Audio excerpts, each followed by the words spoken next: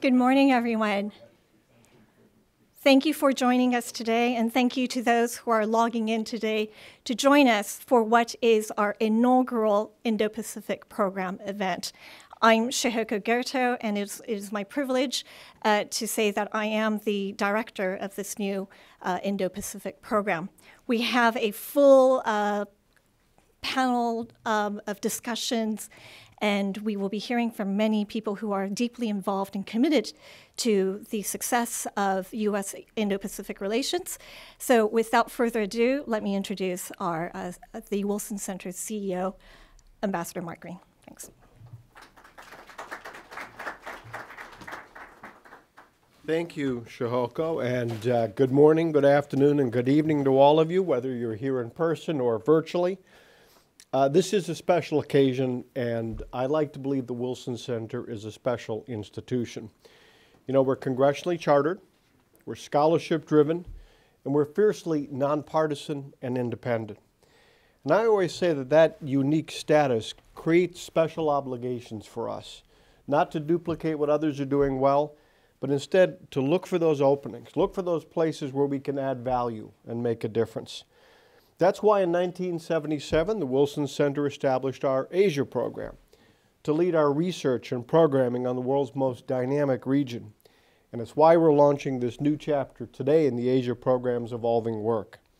In recognition of the new geopolitical reality that the Indo Pacific is one interconnected region, one vast interconnected region, I am pleased to announce that the Asia program is reshaping itself into the Indo Pacific program be very clear, this is not simply a name change. The focus of our future programming will address shifts in the regional order, its economies, and technology transformations. And we will promote deep discussions and thorough analysis, scholarly analysis of the shifting center of gravity in international affairs towards this, the world's most populous and economically crucial region. This new approach also reinforces Wilson's commitment to supporting sustained U.S. engagement in the region, military engagement, diplomatic engagement, and economic engagement all across the region. And it highlights the importance of strengthening cooperation among U.S. allies and partners as we confront shared challenges and, I think, seize exciting new opportunities.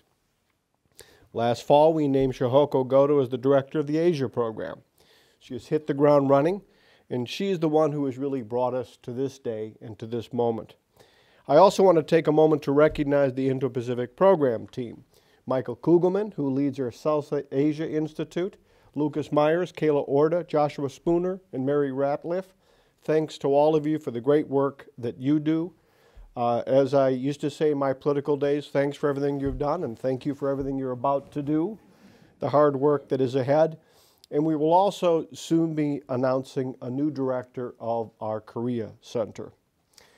Uh, ladies and gentlemen, it is an honor to be joined by so many former and current U.S. officials today. You know, we've turned to them so often over the years to strengthen and guide our work, and we'll be turning to them even more in the months and years ahead. Again, thank you for everything that you've done, and thank you for everything that you will do. Just as partnerships and alliances are the key to America's interests in the region, partnerships are key to our work in the region. I really can't think of a better way to launch the Indo Pacific program than to hear from someone who has not only served in a key post in the region, but has been putting his experience and expertise to work in the U.S. Senate. Senator Bill Hagerty has served as the U.S. Ambassador to Japan and he now represents the great state of Tennessee in the U.S. Senate. He has also got uh, deep business experience, which gives him, I think, a, a special outlook and analytical framework for the work of the Indo Pacific. He's a friend of mine, and he's a great friend of the Wilson Center. He's the ranking member on the Senate Foreign Relations Subcommittee on State Department, USAID, international operations, and bilateral international development. Last November, again, because of his particular business expertise, he helped to lead a trilateral uh, executives economic dialogue among business leaders from the U.S., South Korea, and Japan. He's the right person for this work, and we're delighted again to have him here today. Uh, Senator Hagerty, I invite you to join us on the stage in your conversation with Shahoko. Thank you. Senator Hagerty, it's such a honor to have you here today Oh, to help to us with you. hel- help us launch this um, uh, program. So, if I may get straight to the point, it's been over a decade since President Obama outlined a strategic rebalance to Asia. Um, that has actually gained traction over the subsequent presidencies. Both Presidents Trump and Biden have supported this idea of an Indo Pacific and a rules based order in the region. But at the same time, we're seeing greater competition between China and the United States, heightened tensions over Taiwan, closer economic and technology cooperation between Russia, North Korea, and China. So, in light of that, how successful has this rebalance to Asia and this rebalance to the Indo Pacific been from a U.S. perspective? And what are U.S. interests as a Pacific power? Well, what, what we've seen is, um, I think, as you described, Shoga, and by the way, congratulations on your new Thank you position so here. I'm so pleased to see uh, this, this institute focusing as it is uh, on a, a- region of the world that has half the world's population, 60% of the world's GDP. This is the right place to focus, and I appreciate the, the, the Wilson Center for doing it. And again, congratulations to you for leading the effort. With respect to the relationship and the alliances in the region, what we saw happen was a quad framework put in place, and that framework has been expanded and expanded, administration over administration. Um, I arrived in the region. I'd, I'd, I'd lived in the region before. I first moved to uh, Asia in 1988. Uh, that was an interesting time to be there. I moved to Japan at that point in time. Japan had recently overtaken the Soviet Union to become the second largest economy in the world. At that time, uh, China was a very, very different economy. They were riding bicycles in Beijing, uh, very, very um, insular place at that point. Uh, some leakage into Hong Kong, if you will, economic activity there, but China was in a very different place. I've seen the region evolve dramatically.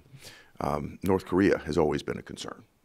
And um, when I arrived in 2017, North Korea was a dramatic concern. In fact, in President Obama uh, and President Trump's meeting just before President Trump took office, President Obama warned President Trump this will be the issue that you have to deal with. Um, and certainly we had to deal with it significantly in 2017. And what we had to do was get our uh, military assets in the right place to, to address that. Once that happened, um, the rhetoric calmed down and the room to speak and connect, connect and communicate uh, opened up.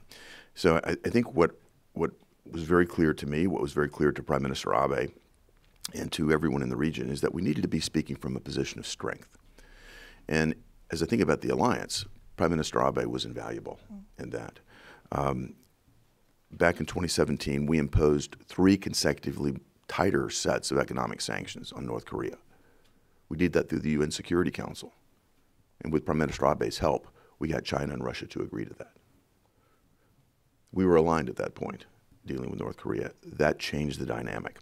Um, that allowed for, for, for meetings, that allowed for pressure. I'm not saying it was easy at all, nor did we achieve the objectives that we had hoped in the, in the period that I was there, but we moved the ball uh, in a direction toward calm, toward safety. What we also saw was China pull out of the East China Sea.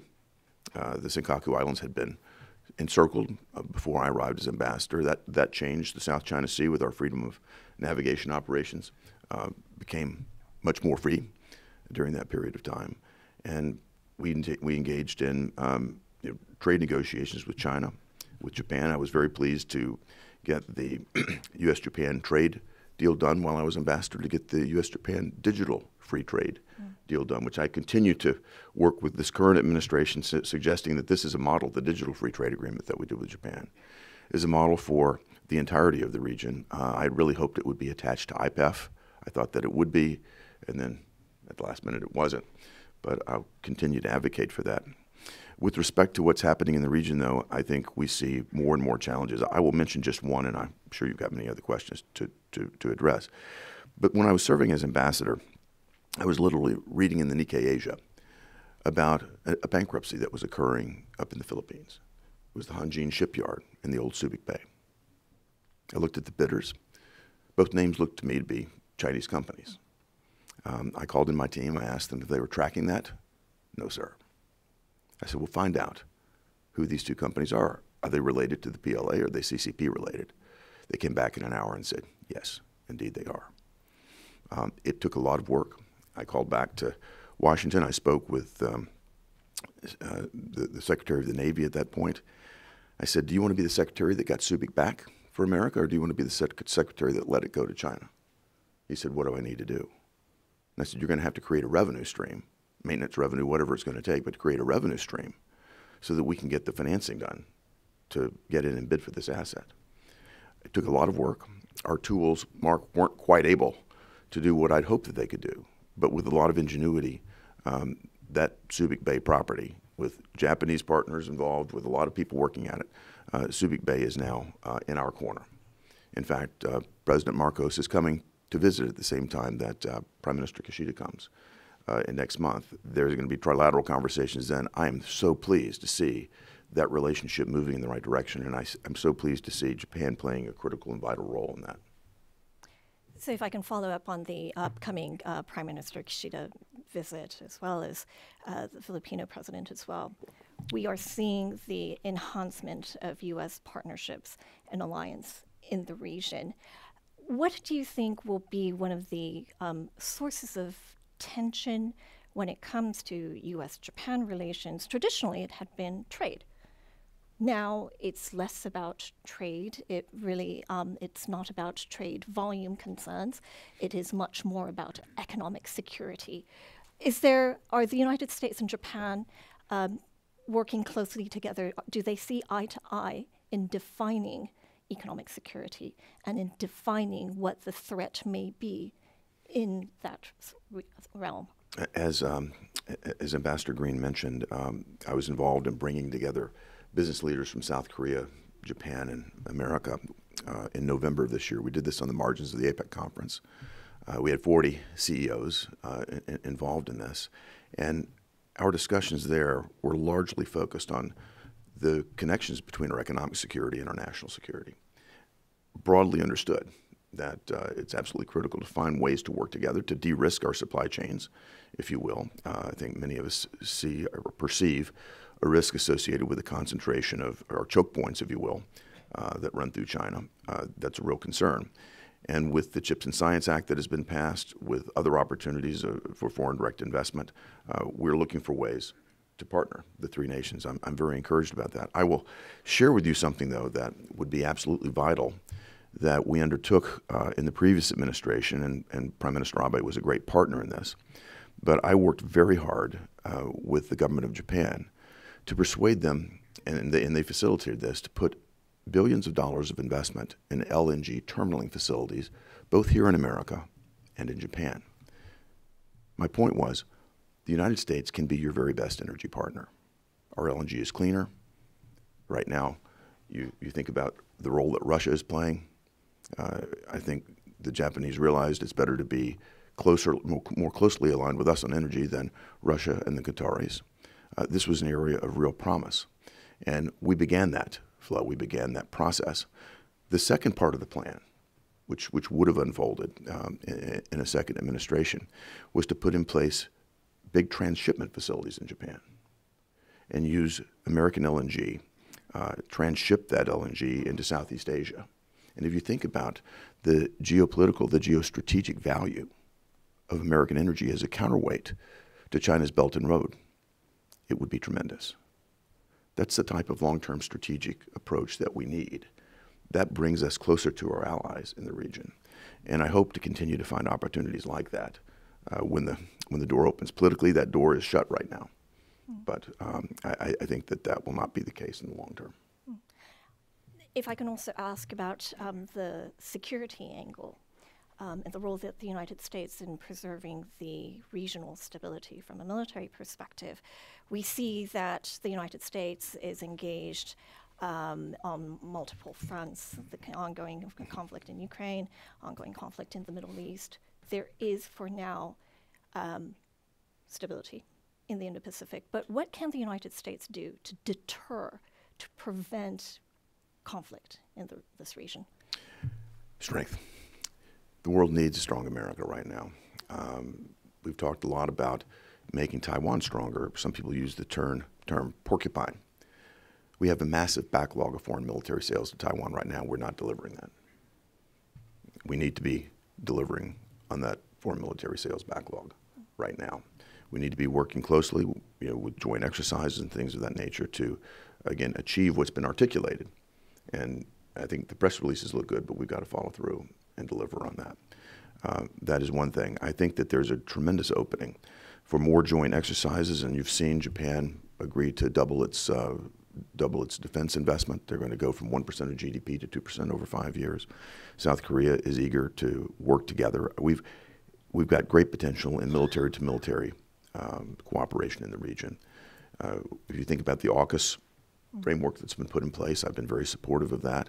I think we've got some challenges in terms of our own military industrial base in order to deliver on that, but we can work together with the Australians there very inclined to do that with us uh, to find more ways, more more military partnerships uh, in the region. So I think it's a, it's going to be a combination of stronger economic and technological cooperation. Going back to the economic forum discussions that we had, uh, it's going to be looking for opp- opportunities to create a stronger military presence, and, and in that I mean an interoperable military presence as well. It's not just a procurement exercise I'm talking about, but interoperability meaning we need to do joint exercises. I, I've had the good fortune of visiting the Yamasakura exercises year over year. That's the largest uh, military on the ground exercises we do with the Japan Self Defense Force. You can see the improvement. It's tangible when, when our teams work together.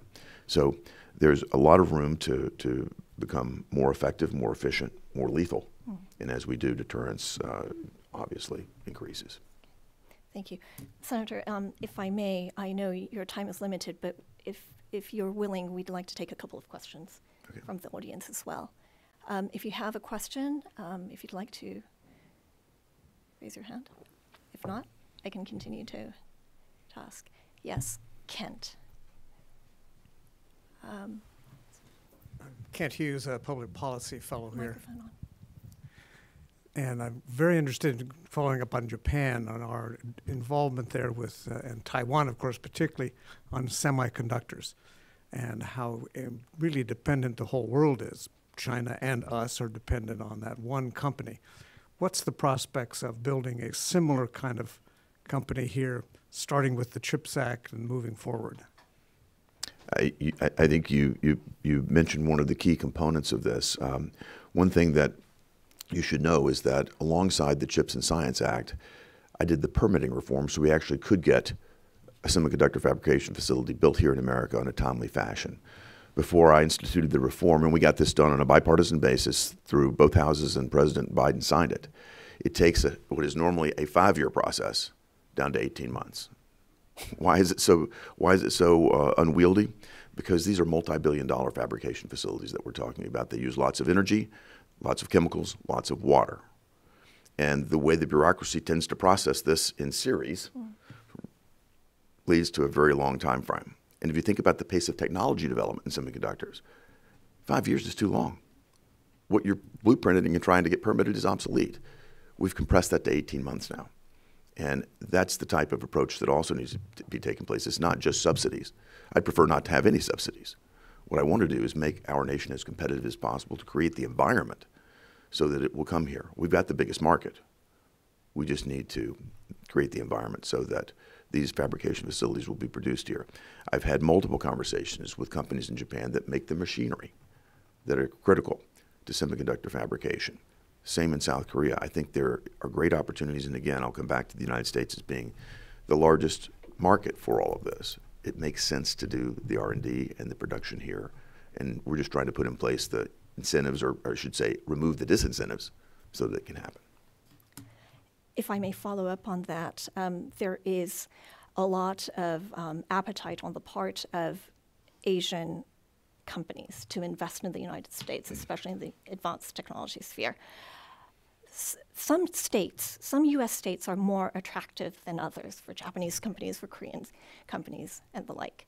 How does an American state become attractive to foreign investors, and how can we use this to like build competitiveness more broadly in the United States. That, I've got to say, that's the nicest softball I've ever been thrown.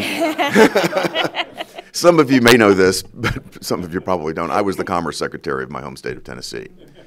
And we transformed the state Uh, when when when, when um, our friend Bill Haslam became governor, he asked me to come in and, and serve as a different title, but basically the Secretary of Trade and Commerce.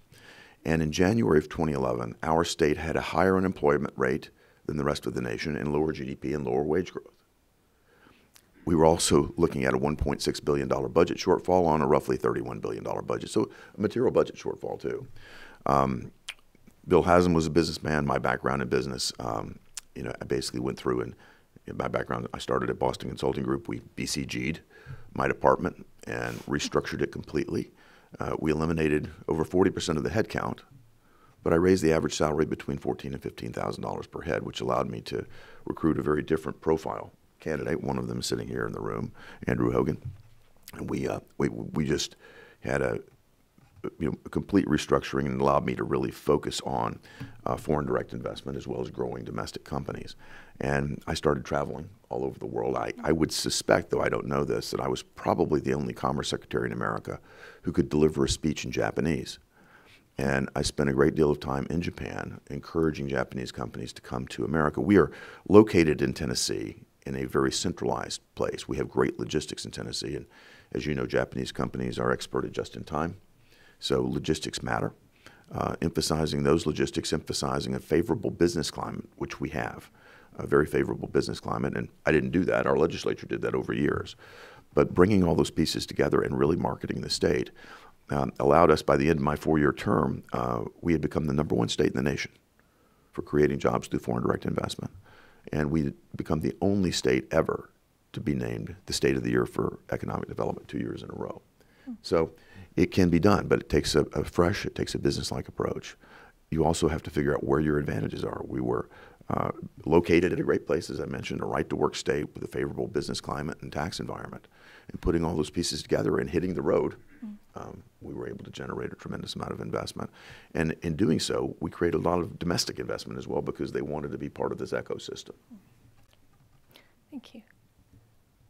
Yes.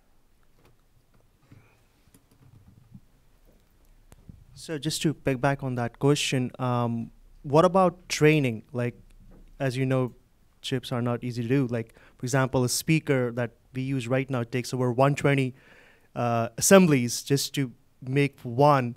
It's, uh, I mean, it's good to have a company, but what about the training of people? And not only that, you know, as you know, Korea is, uh, you know, Samsung is going at five nanometers. TSMC is going at seven, while we are, I think, 40s or 50 nanometer. We are way behind in terms of technology as well. So not just training. What about the other aspects? I mean, it's good to have a company, but how are we going to get it done? I mean, you know. You raise very practical and pragmatic questions. On the training piece, I'll go back to my home state again because it's got to happen at a local level. Um, our governor, our current governor, uh, Bill Lee, is very focused on the training aspects of our workforce. That's going to become the competitive advantage of every state is the skill level of your workforce. And we've got a lot of ground to cover in terms of being able to support the manufacturing base that we want to see develop here in America for semiconductor fabrication. When you get to the R&D aspects that you're talking about, again, we have great researchers in R&D happening here. Chip design is happening here in America. Uh, we got to bring all of this together. There's global talent that we're going to have to bring together again and do our best to attract it right here to America because of the national security and strategic aspects of this. It's going to take a great deal of focus and investment as well. It's not just the plants; it's the manpower and the R and D. You raise a great point. Great, thank you. One last question. Okay. Uh, yes, sir. Hello there. Thank you for your presentation. My question is when it comes to semiconductor manufacturing, there are a lot of raw materials that are critical minerals that go into creating these semiconductors. What steps do you think we can take to secure the supply chains for these critical minerals so we're not heavily dependent, for example, on one or two countries in terms of de risking? Yeah, that is a very relevant and important question as well. And there's work going on in, the, in both the House and the Senate right now from a legislative perspective to try to facilitate uh, securing these sorts of supply chains. We're going to have to work with our allies to do it, and there's there is no shortage of conversations taking place again between the United States, Japan, and South Korea right now on just this point. And it's not just sourcing the raw materials; it's also processing capability. We're going to have to have that in a means that you know if, if it's not going to happen here in America, and again, back to the permitting problem Um, for example, we mine lithium in my home state. We can't process it. So we have to we have to get both aspects of that correct, and it's going to take a tremendous amount of focus. I mentioned my permitting reform on semiconductor fabrication facilities. It's going to take reform of, of, a number of processes to get it to work. But from a national security and a strategic standpoint, the, the point you raise is critically important as well. Thank you. And thank you, Senator Hagerty. Um, many questions we would like to ask you, but I know time is precious, so we're very grateful for your time today. Thank you again, and we hope we can Certainly. invite you back again. Well, it's a great kickoff, and I know that many wonderful things will come under your leadership and leadership of Ambassador Green. Uh, congratulations to you again. Thank you so much. Thank you.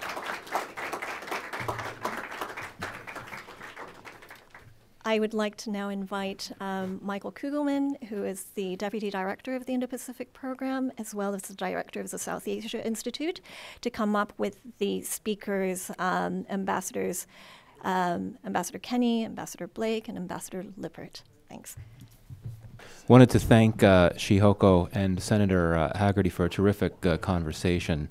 Um, hello again, everyone. Uh, it's really, uh, first of all, thank you all for joining us in person and online um, on this very exciting day as we launch the Indo Pacific uh, program. So, we're now moving into our first panel discussion this morning, and I'm really uh, delighted to have with us on the stage three distinguished former ambassadors here to share with us their views on the Indo Pacific, a region where they have all served previously. I'll be brief in introducing them. We have Ambassador uh, Robert Blake, who currently leads the Southeast Asia and climate practices at McLarty Associates. He served for 31 years at the State Department in a range of positions, including ambassador to Indonesia and to Sri Lanka and the Maldives. He was also uh, DCM in New Delhi and has served in roles in the Middle East and Africa. Additionally, he served as Assistant Secretary of State for South and Central Asia. We also have with us Ambassador Kristie Kenney. She has served as ambassador to Thailand and the Philippines, the first woman to serve uh, in those roles. She's also served as counselor at the State Department and as a Deputy Assistant Secretary of State focused on U.S. public diplomacy and strategic communications in the Indo Pacific. And last but not least, we have Ambassador Mark Lippert. He's served as the U.S. Ambassador to South Korea. He's also served at the Pentagon um, and as Assistant Secretary of Defense for Asian and Pacific Security Affairs. He's also worked on the NSC and he served in the in the uniformed uh, military. So it's really a very distinguished group. Thank you all for for joining us, and uh, let's let's get right into our conversation. Um, First question is that uh, you all served in Indo Pacific capitals during the George W. Bush and Barack Obama eras, a time when discussions about pivots and uh, rebalances to Asia were starting to take shape. But we were a long way from, uh, from where we are today with an Indo Pacific strategy that drives U.S. Asia policy and, and to an extent U.S. foreign policy uh, more broadly. So, based on your, your conversations, your engagements, your experiences in your respective posts back then, and based on where we are today, are you surprised at how far we have come, or is it more or less um, what you would have expected? And why do you feel that way? So, Ambassador Kenney, let's start with you. Thanks, Michael, and, and congratulations to Shoko and, and the Wilson Center for this launch. Thrilled to be here and to be flanked by two of my very favorite and most distinguished former colleagues and good friends. So great to see you guys. I actually think the rebalance has been a great success. And I'm not surprised because I think the importance of Asia, both strategically, economically, and culturally, is um, obvious to all of us who live in the United States. The influence of, say nothing more of Japanese or Thai food in this country, the influence of the cultural, Mark can talk more authoritatively than I about K pop, but the strategic concerns, the you know, world's enormous population in India, in China, in ASEAN. You know, this is a region that I think inevitably was going to deserve and need more American attention, and it has. There are a few things that cause it to be have caused it to be a little less effective than we might have liked. One, something over which well, both we, over which there is no control, and that was the pandemic, which I think set back the rebalance in terms of the very strong and important engagement among peoples, leaders, businesses, universities. All that was really put on hold or moved to video, which isn't quite the same as that ability to sit in a room and talk, whether you are, again, a business, a university president. And I think we're now getting back to exactly where we should be with lots of visits at every level. The other factor from the United States perspective are other global issues and that, that consume American governments, American leaders across industry and cultural. I still think, despite that, and, and I think you know one only needs to look at the news today to know that there are some stunning and serious global challenges. The Asia Pacific is still getting a lot of attention, and deservedly so. It is, I think, the most critical region of the world across so many sectors of America. So I'm, I'm not surprised. I'm delighted. And I think our Asian friends are equally pleased. Thank you. Ambassador Blake, did you want to? Uh, well, again, let, let, me add my own warm words of congratulations to, uh, to the Wilson Center for starting this program. And it's great to be here with my pals who can uh, answer any really hard questions. I thought that was what way. you would do. um, I, I think that the Biden administration deserves great credit for their efforts to uh, continue to expand our relations with, with the Indo-Pacific. Um, I think particularly that there's been very good progress on expanding some of these very, very important bilateral relationships. We've established uh, strategic, comprehensive partnerships now with Vietnam and with Indonesia. Of course, expanded with, with the Philippines. Uh, Kurt Campbell, when he was at the NSC, uh, really did a great job of doing much more with the Pacific Island states, which I think is very, very important and a growing theater for comp of competition with China.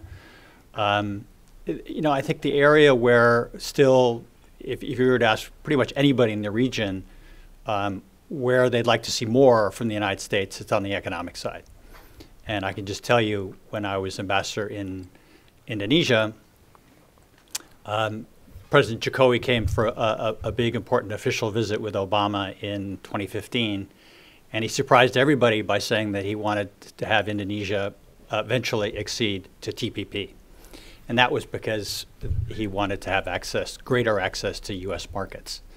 And once President Trump pulled us out of TPP, um, Indonesia likewise withdrew its candidacy because it just, without access to the U.S. market, it wasn't worth the, the considerable trouble that they were going to have to take to, to comply with all the various TPP requirements. So, um, and then we haven't really made any progress since then. So, uh, and all of the countries of the region really missed that. They all, China is the largest market for every single one of the countries in, in Asia almost, uh, and also an increasingly important investor as well. So I think we need to up our game a little bit more on the trade side and on the uh, excuse me, on the investment side. We've started things like the the partnership for for uh, global infrastructure and investment, which I think is good. It's a uh, a G7 initiative, but it's really only hundreds of billions of dollars. And as you know, the Chinese are pouring in uh, much more than that through their through, through their Belt and Road initiative. So, so I, I think it's largely the, the, Biden administration deserves a lot of credit, but there is um, this one area of weakness. Thanks. And I hope we can come back to the economic bit, which is mm-hmm. important. Mm -hmm. Ambassador Lippert, did you want to weigh in? Uh, well, thanks again for. Um, I don't know if I have to turn this on or not. I'm, I'm a rookie here um, compared to these two uh, veterans. um, I guess what I would say quickly is I, I, I, am a, I'm in a little different category in that in during the Bush administration, I was on Capitol Hill as a member of the Appropriations Committee and as a uniformed military officer in Anbar Province in Iraq. And I think that um, shapes my first point, which is I think if you think about where we were then to where we are today in terms of the rebalance, I, I think you have to say it's been a, a, strong success in terms of realigning where uh, uh where our interests uh, lie, number one, and, and will increasingly lie in the 21st century. I mean, we were at one point, I believe, spending $4 billion a month on the U.S. Army alone in Iraq at one point, right? And you think about all the throw weight on Capitol Hill, the time, intention, and energy in the White House on this issue, the most scarce commodities in Washington, we're focused there, and look where we are today. So I think that's point one. The second point I would just echo that I think the Biden administration, along with, I think, uh, the Obama and different times during the Trump administration has generally uh, moved in that direction pretty effectively. I think uh, that's the second point. And then the third point, what I would say, there have been imperfections, right? There's no doubt about it. There have been some suboptimal elements here that we can all, I think, uh, count on or uh, account for and try to improve upon. And let me just list a couple to add to the to the list uh, and in some ways restate it. Um, I think you know sequestration during the Obama administration was devastating, um, and it halted a lot of work in terms of budget reorientation uh, towards the Asia Pacific. That was one because of the draconian cuts that were effectuated. Uh, the second piece is during the Trump administration. I think you have to you could argue as a starting point predictability and second treatment of uh, allies, especially, but also friends and partners, uh, came into uh, sharp focus and became an issue. And I think the third uh, point that Ambassador Blake made was is the the Biden administration trade agenda, right? And I think everybody hears that uh, who travels to the region mm-hmm. over and over again. So I think you know there's, I think the strategic arc is in the right direction. I think it's strong, but lots of work to do going forward. Let me stop there. Hmm.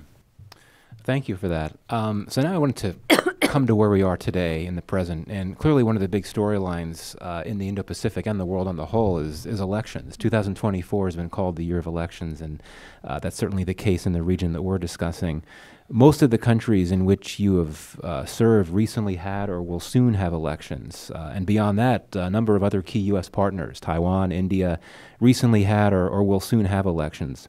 Some of these elections have brought or are expected to bring continuity, and others change. Um, so, what do you think all these elections mean, if anything, for U.S. interests and U.S. policy in the region? Ambassador Blake, we could start with you. Well, let me focus on, on Indonesia, which, as all of you know, had a very important election on February 14th.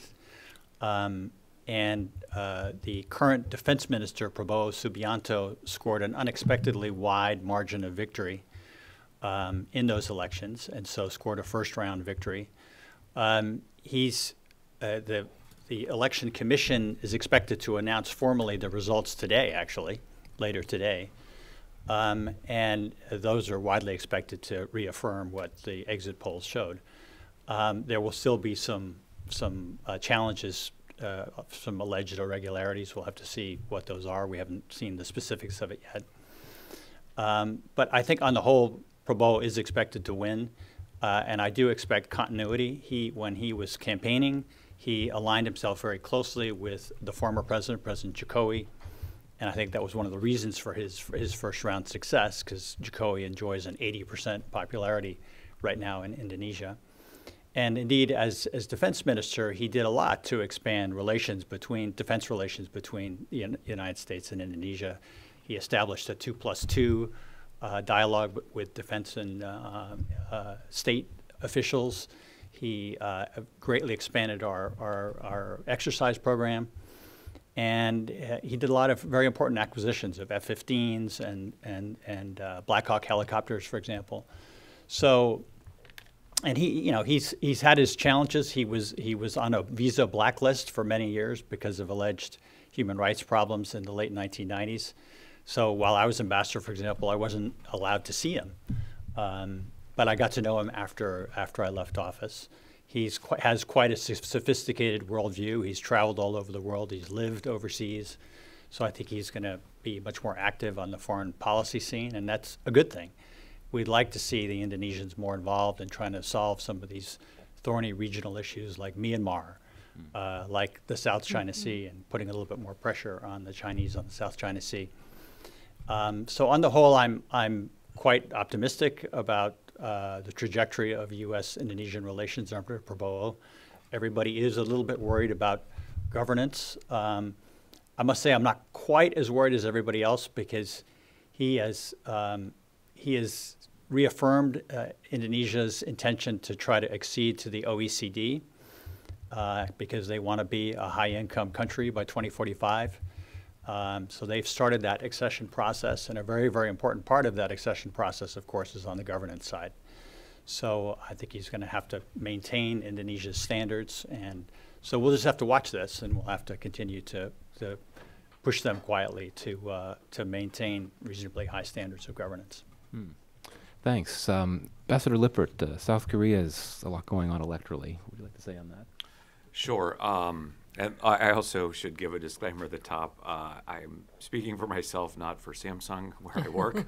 I, um, so I just want to be very, very careful and be clear that I am uh, speaking in a personal capacity here today. Um, with that said, uh, what I, let me just make two points to, to get into it.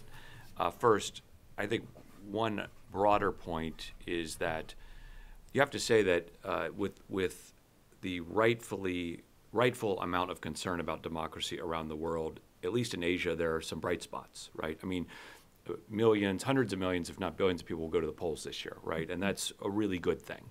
Uh, and I think that's that's point one. So I think taking a broader view, that's an important fact. The second is, um, I do expect, broadly speaking, a large amount of continuity. You could throw India into the mix as well.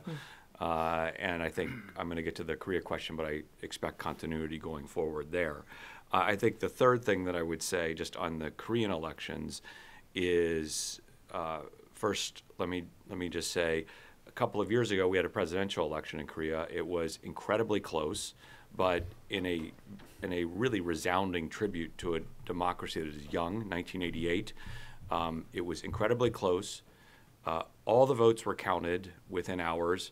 The winner was declared, and the losing candidate had conceded um, in hours. And that is really impressive uh, for such a young democracy, and I think that sometimes gets lost. Uh, um, what's happening now is the midterm elections, if you will, the National Assembly elections, which are off cycle to the presidential election the it's a unicameral system, Nebraska, um, and the presidency in Korea is very very powerful. Uh, so the the unicameral elections are a pretty interesting uh, thing in their own right. They tend to break late. Uh, and if you talk to Scott Snyder at, at, Council on Foreign Relations, who's probably one of the best expert on domestic Korean politics here in town, he thinks this election is more about personalities uh, than about policy. And so look for the the the back and forth to be about a, attack ad kind of equivalents. And again, breaking late. Final point, just to get off the stage. Uh, I guess two points. The name of the game in Korean politics generally is if you're in the opposition and you're working on the, the midterm election cycle, it's to try to lame duck the president. The president gets one five year fixed term.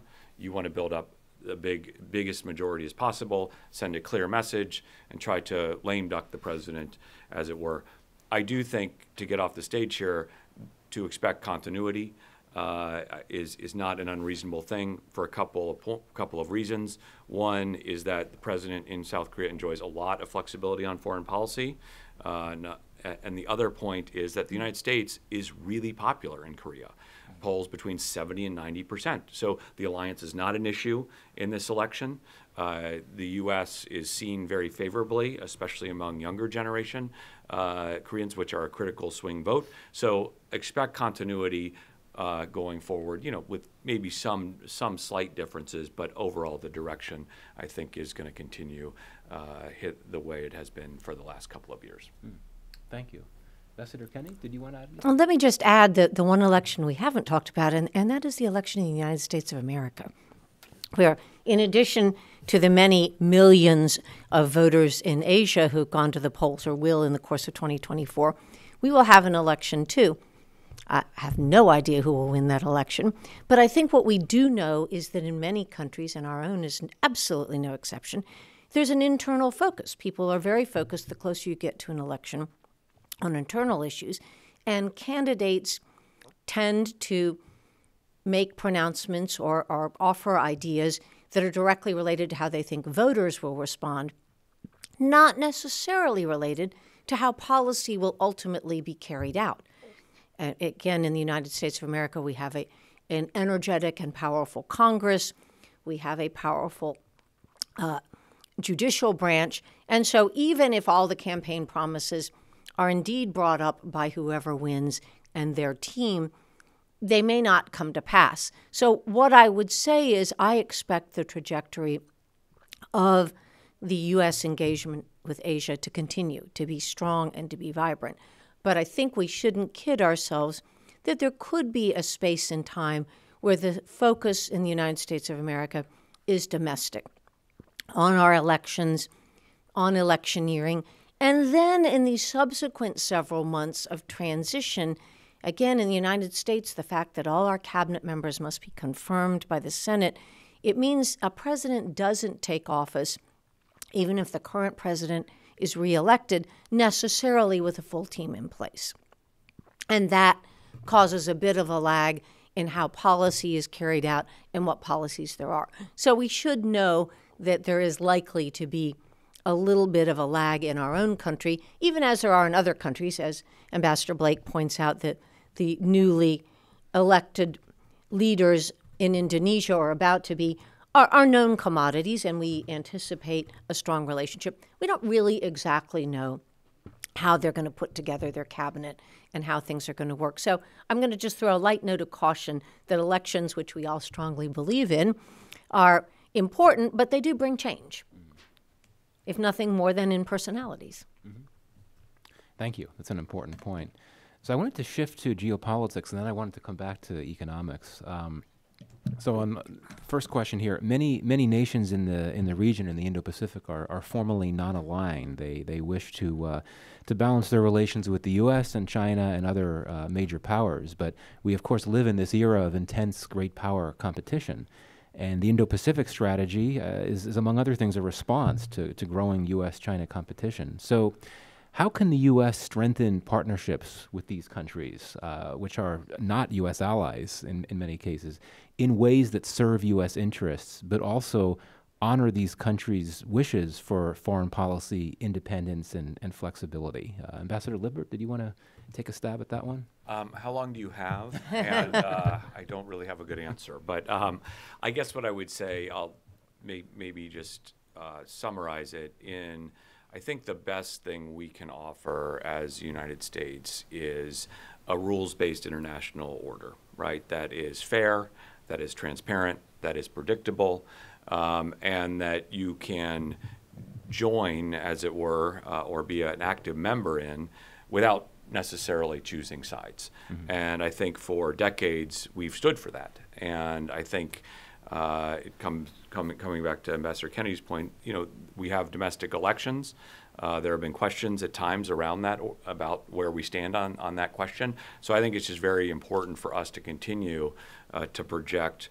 Uh, a strong commitment to said rules-based international order, define it, keep it open, keep it transparent, keep it mm-hmm. predictable, keep it fair. I think that's a very attractive thing uh, for some of these quote unquote non-aligned people, non-aligned countries. The, let me just get off the stage by by also saying.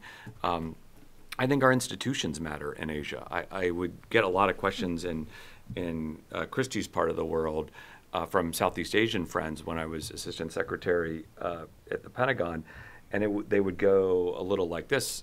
and uh, this is when we were starting to have a lot of partisan fighting that I think has only intensified over the past decade which is some uh, the critique was the thing that we're perhaps most concerned about is your institutions. You have institutions that have a history of solving great complex problems, and you don't seem to be able to do that as effectively anymore, and that undermines your strength as a nation, right? And mm-hmm. th- that is an interesting critique that I think all of us in government took seriously, number one, and number two, out of government and as private citizens, we should continue to focus on uh, going forward. Let me just stop there.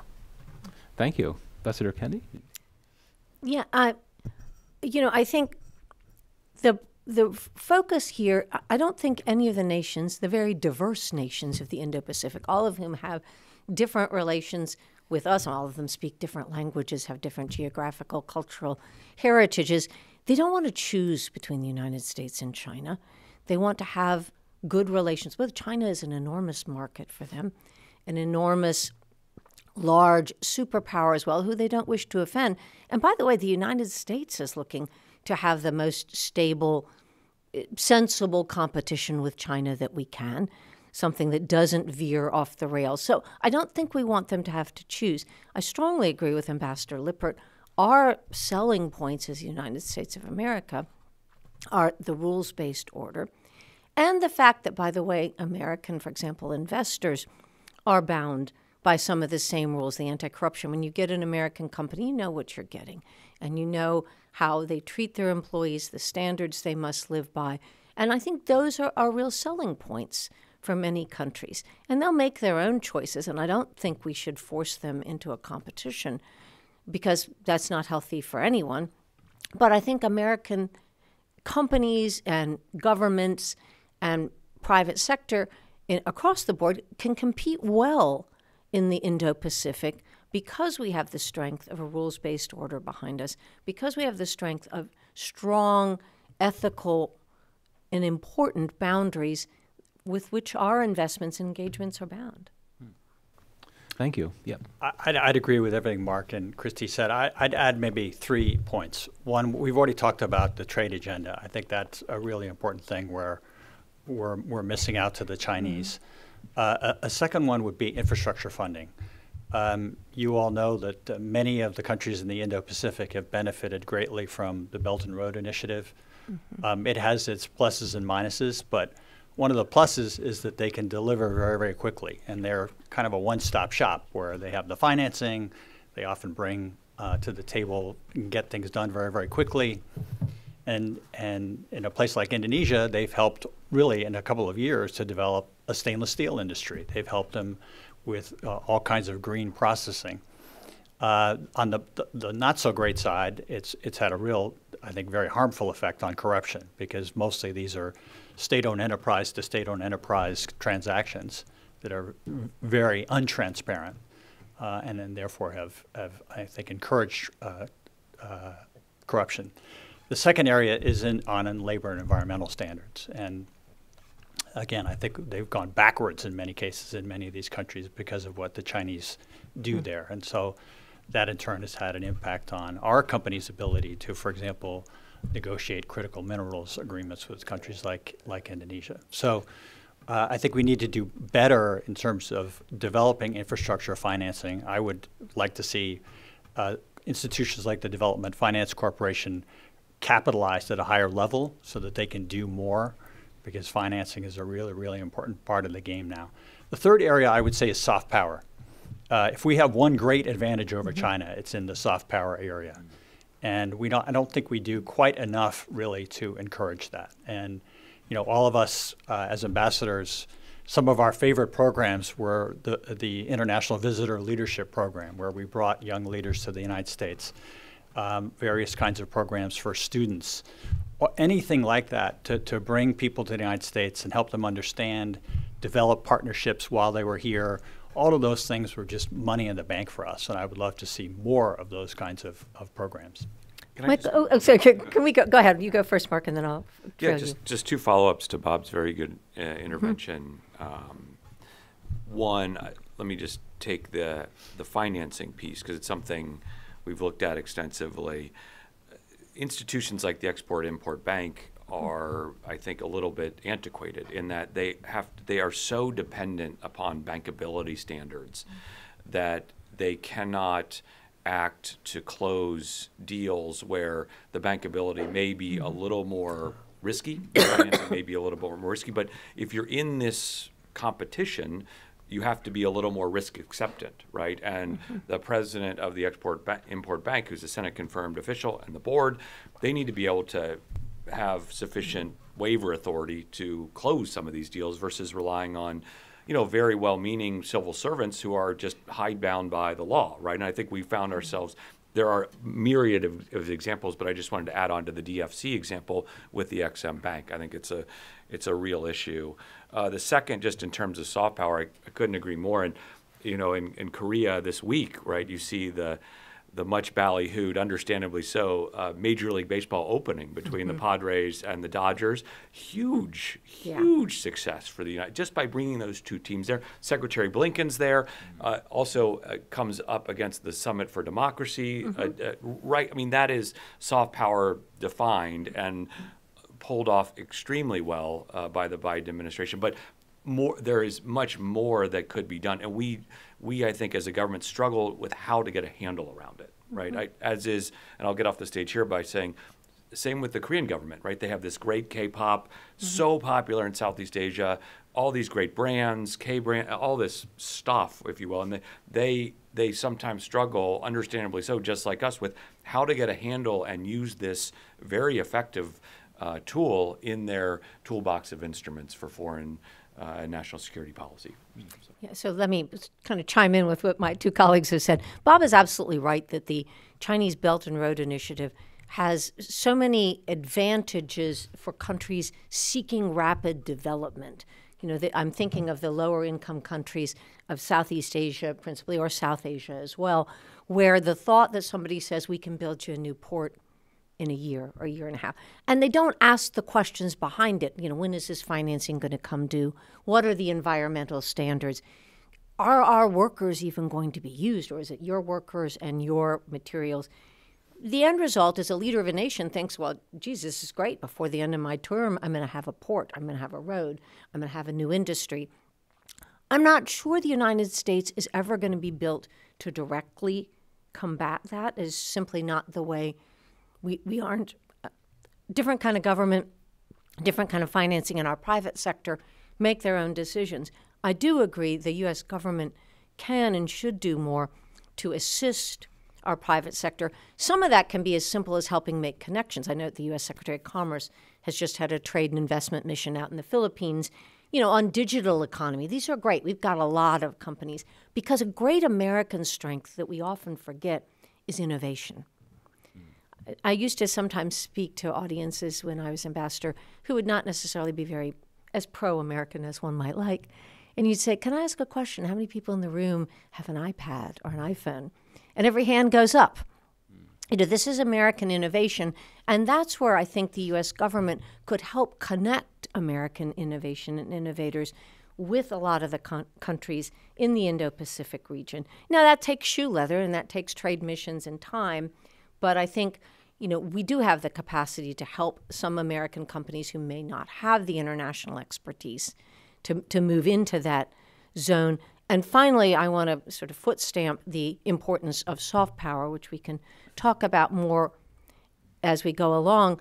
But there, there is a great value to be had, for example, in you know, baseball crazed Korea, in having baseball openers there.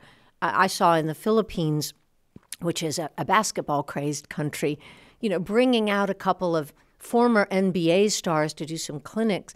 The coach of the Miami Heat, Erik Spoelstra, is a Filipino American. He could have run for president after he ran clinics out there.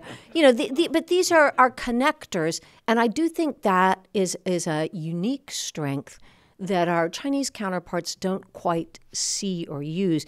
Ditto the amazing exchange programs. Uh, my time in the Philippines, I was talking to a mayor in a small town in the southern Philippines. And he had just returned with 10 other Filipino mayors from visiting small or smaller American cities. And what they talked about is what mayors talk about trash collection, schools, roads. And, and he said they all came back with so many great ideas and also were able to share some of theirs. And that's the kind of thing you, you can't replicate elsewhere. And I'd, I'd, love to see the U.S. government do more of that. I realize it's labor intensive, it's funding intensive, but but those are great programs.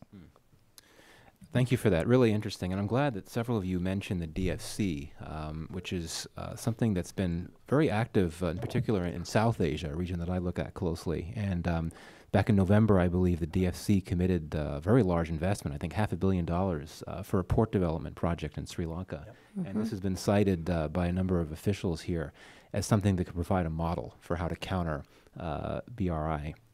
So I, I, I, had wanted to come back to the, the economic bit. I think you've all provided some really useful comments on that front. But before we move on um, to one more question, before we open it up to you all, do any of you want to add um, to this question of what might make an effective U.S. economic diplomacy or economic security strategy? Is there any type of thing you want to add to that? yes. I can jump in. Um, I, would say a couple things. Um, I, obviously, in a perfect world, I'd love to see us rejoin TPP, now mm-hmm. called CPTPP. I don't think that's going to happen because there's just not congressional support for it. So we need to think realistically about what is possible. And I think that the two things that would really help in, in our part of the world, in the Indo Pacific, one would be um, uh, sectoral agreements. So I was thinking particularly of digital agreements, where there's, mm-hmm. there's huge development of the digital economy in Southeast Asia. and many, many opportunities. The, the countries already are developing free trade agreements among themselves and with Australia and New Zealand and other countries. And it would make great sense for us to do this.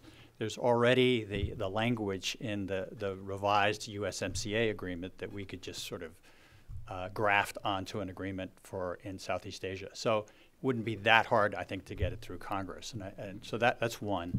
Another one are, are, is, again, is this very important critical minerals uh, task that we have ahead of us, where China is now locking up a lot of these critical minerals, both the minerals themselves, but also the processing of it. And so it's extremely important for us to get out and do more on this. And uh, again, these minerals are often in, in countries where we don't have a free trade agreement, and so um, the processing uh, would not be eligible for uh, IRA tax credits here in the United States. So it is important to, deve- to develop these agreements, and I hope that the next administration will do that.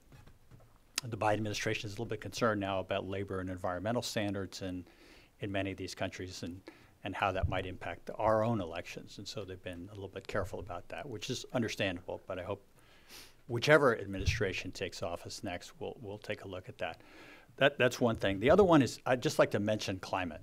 Um, I, I spent a year working on John Kerry's team, helping him to negotiate the Just Energy Transition Partnership with, with Indonesia.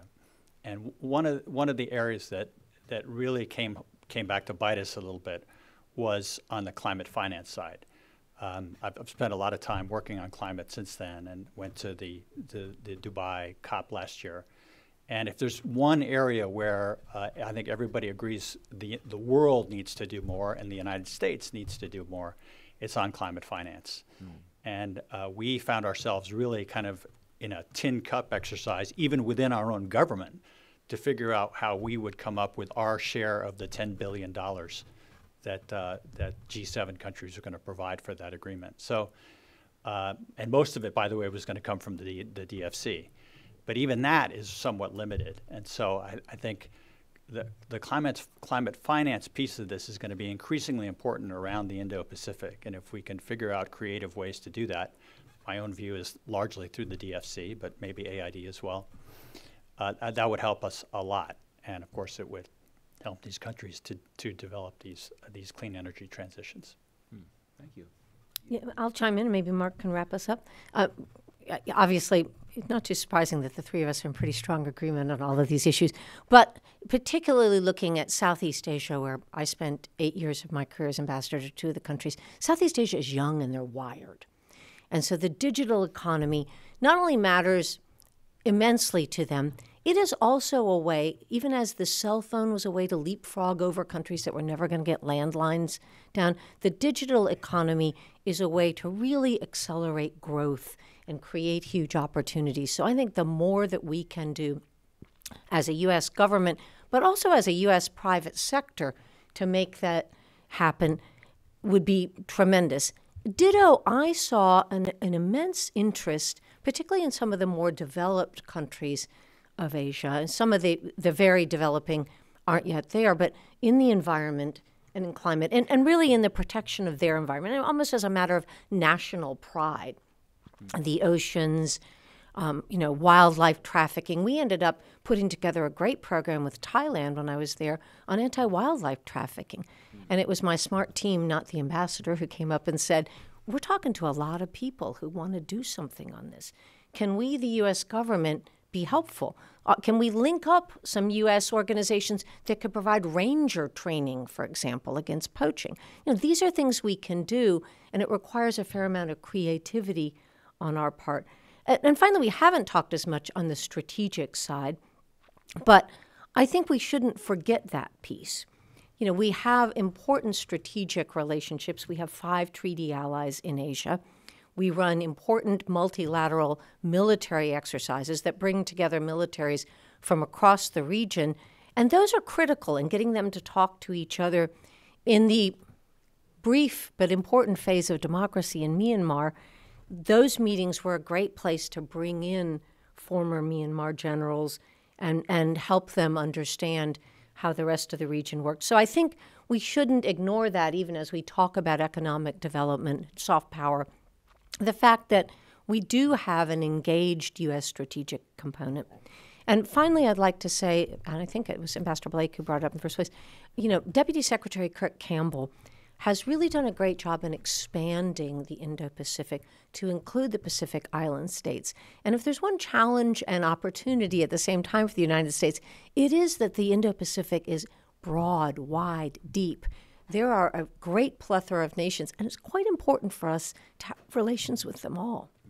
It matters strategically and economically to us. And I think that's a trend I hope will continue. Thank you.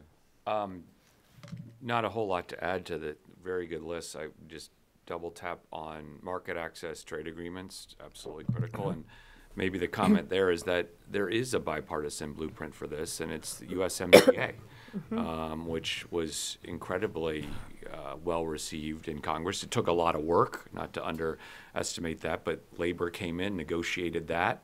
Um, so there, I think that's an interesting template from which you could conceivably launch. Uh, I think that's one. Two, digital trade and services to to echo the, the comments are absolutely critical, absolutely essential, and I think also doable uh, as as well. Um, the third one on my list that hasn't been mentioned, and this would be involve a I think a grouping of much closer in allies. It's what the Koreans call uh, Anbo, uh, economic security. Those are the critical technologies, the semiconductors, 5G, um, biologics. We, we all know those lists, but getting alignment on what those core technologies are, because every country has different uh, lists, number one. Number two, sorting through, I think, in a coordinating way, not a state-directed way, but who's doing what, because different countries have different expertise. So we, as we heard from Senator Hagerty, the Japanese do some things very well in this, the Koreans do others, um, the Dutch, other, just figuring that piece out and more emphasis there. We've done some good work uh, in this administration on that, but I think that's a, a real area where we could increase economic viability on technologies that really, really matter. Um, the the fourth thing I would just uh, a little bit echo um, what what Kristie said about connectivity, but connectivity, especially among small and medium enterprises.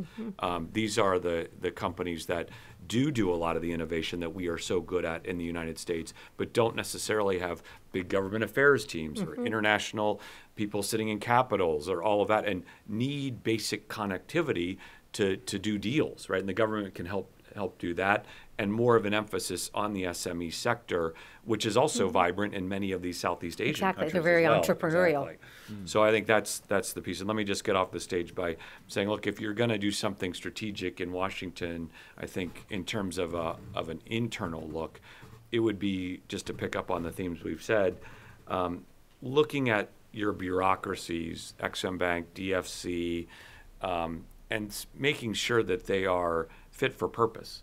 Um, I think the DFC example is a good one, but DFC is limited on how much it can give, what what countries. There's certain, you know, are those definitions appropriate uh, in this day and age? I've mentioned the Ex-Im Bank. There's a whole list of these, but is there an exercise by which we could go through and kind of make sure these are, are suited for purposes? And, and let me stop there. Can I add? make- Oh, sorry. sorry. Go ahead. Just, I just want to make one comment, picking up on both what Kristie and, and Mark said. Again, if there's an, another big advantage that the United States has over China, it's our network of alliances, not around the world, but also in the Indo-Pacific. And I think that that's very, very important. And the Biden administration has done a good job uh, of restoring those, frankly, because they got into a little bit of disrepair during the Trump administration. Um, but uh, but also looking to leverage those in important ways. And I'll give you a, a few examples. Um, one of the sort of least least well known, but I think important developments has been the improvement in relations between Japan and Korea. Mark, I'm sure you'll agree that's important. And um, we work a lot with those two countries, and they both enjoy uh, great respect in places like Southeast Asia. So it's very much to our benefit to work with them as much as possible, because there's a lot of trust for Japan and, and Korea in, in those countries. Uh, likewise, I think that the Biden Biden administration has done a really good job of doing more with the Quad. It's now become a presidential level initiative and has some real uh, meat and some real initiatives behind it. Uh, and there's even talk of, of expanding the Quad to include, let's say, Korea or a country like that. So, all of which I think would be to the good. So, so those are uh, those are areas that we need to continue to focus on, and again, work as much with these close partners and leverage that to our advantage. And I was going to add something that an area for growth, I would say, in our relationship with the Asia Pacific, and I would say that's on the health sector. Mm. You know, if we learned one thing from the pandemic, it is that in today's global world, you know, one one person sneezes and we all get a cold. And so I, I think I'd love to see, and I know that the bandwidth is limited in the U.S. government, there's a lot going on, a lot to do, but I'd love to see us working with the nations of the Indo Pacific, hugely populous nations, particularly some of the working with, say, the more developed, the Japans and the Koreans, see how we could build a partnership to build health capacity some of these countries. And we have a big presence of the Center for Disease Control in Southeast Asia. They do amazing work and have done for years. Can we look at how we can help these countries be prepared to respond if and when, and it's probably when, there is another pandemic? And you know, I, I, know that's an issue the United States ourselves are working on, but I think it's a great growth area for the Asia Pacific, hmm. the Indo Pacific, I should say. Uh, well, thank you to all of you. We, have covered a lot of ground, uh, and I want to open things up to our audience. And I should say, for those of you watching online, um, please feel free to post your question uh, in the chat box, and we'll get to that. So, do we have questions in the room first? Uh, okay, we'll we'll start uh, down here. Um, and sorry, if you could wait till you have the microphone so people online can can hear you. Thank you. Uh, thank you. I'd like uh, to ask uh, Ambassador Kenney to talk a bit about the somewhat perplexing relationship between the U.S. and Thailand. I, after all, we the military still has a significant role in government. There were elections, but they're somewhat strange elections.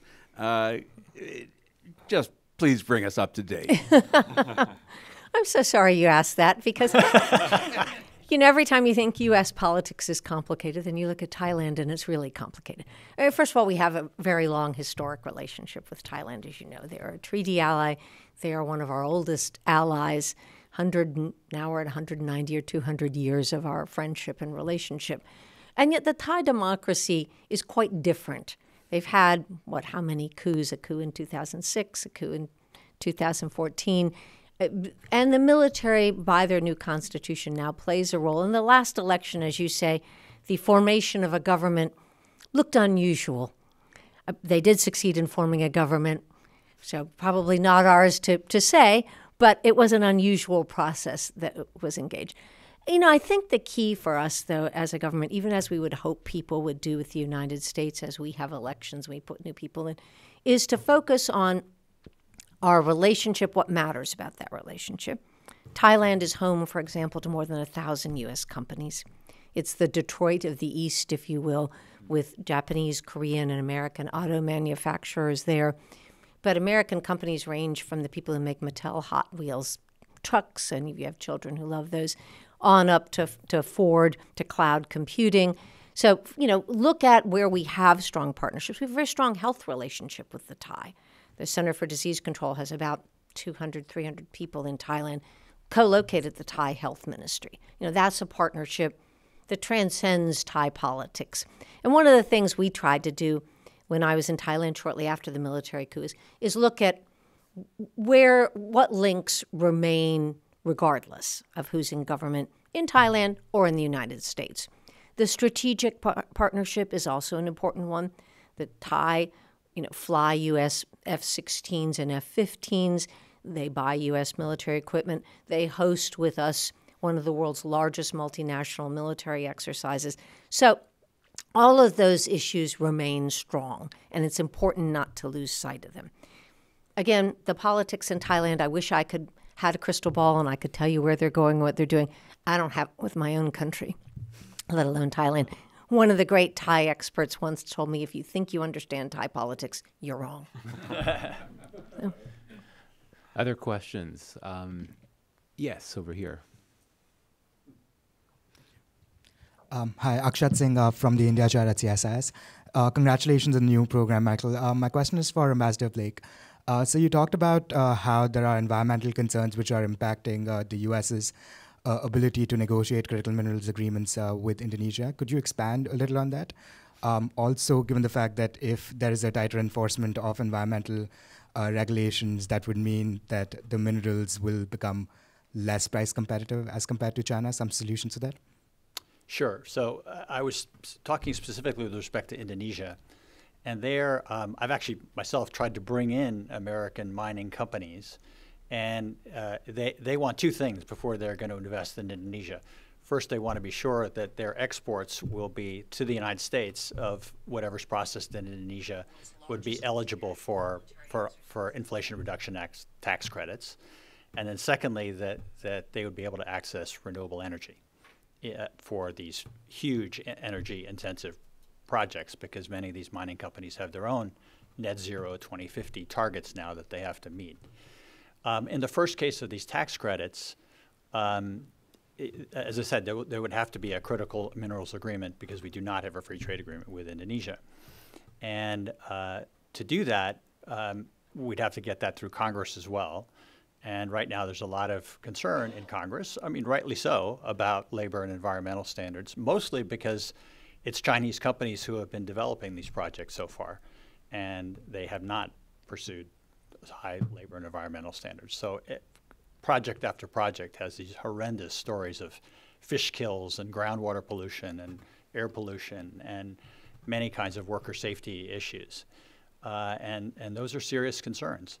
So I think there's there's a way forward where we could put sort of certain minimum standards in place that would be a requirement for uh, any company that might be eligible for Inflation Reduction Act tax credits. Um, but even so, it's going to be a little bit of a lift in, in the current Congress with with uh, our elections coming up. So for the moment, the Biden administration is doing the smart thing, which is to set in place the, the dialogues and so forth to, to hopefully be ready to act in, in a second administration or even in a Trump administration. I think uh, President Trump also understands the need to, to diversify our sources of supply and not have uh, China controlling that. So, so I, I, wouldn't discount that possibility under them either. Hmm. Hope that answers your question. Uh, yes, looks like Kent has his hand up again. Please, yes, go ahead. Terrific panel. Thank you all. Uh, I'm Kent Hughes, a fellow at the program at the Wilson Center here. One of you mentioned the Young Leaders Program, where we brought people from really around the world to see how America worked and so forth. During the Cold War, there was a real emphasis on language study and area studies. Uh, there was even a National Defense Foreign Language Program. Is there anything like that going on in the administration? We could do much the same thing with regard to the whole Indo Pacific. I'll start by tackling. I'm not sure there's a whole systemic, but we do do some English language instruction through a couple of avenues. One is our Peace Corps volunteers in some of the developing countries in, in the Indo Pacific who often do teach English or teach English teachers, which I think in some ways is even more effective. Rather than trying to teach individual students, you help train the trainers.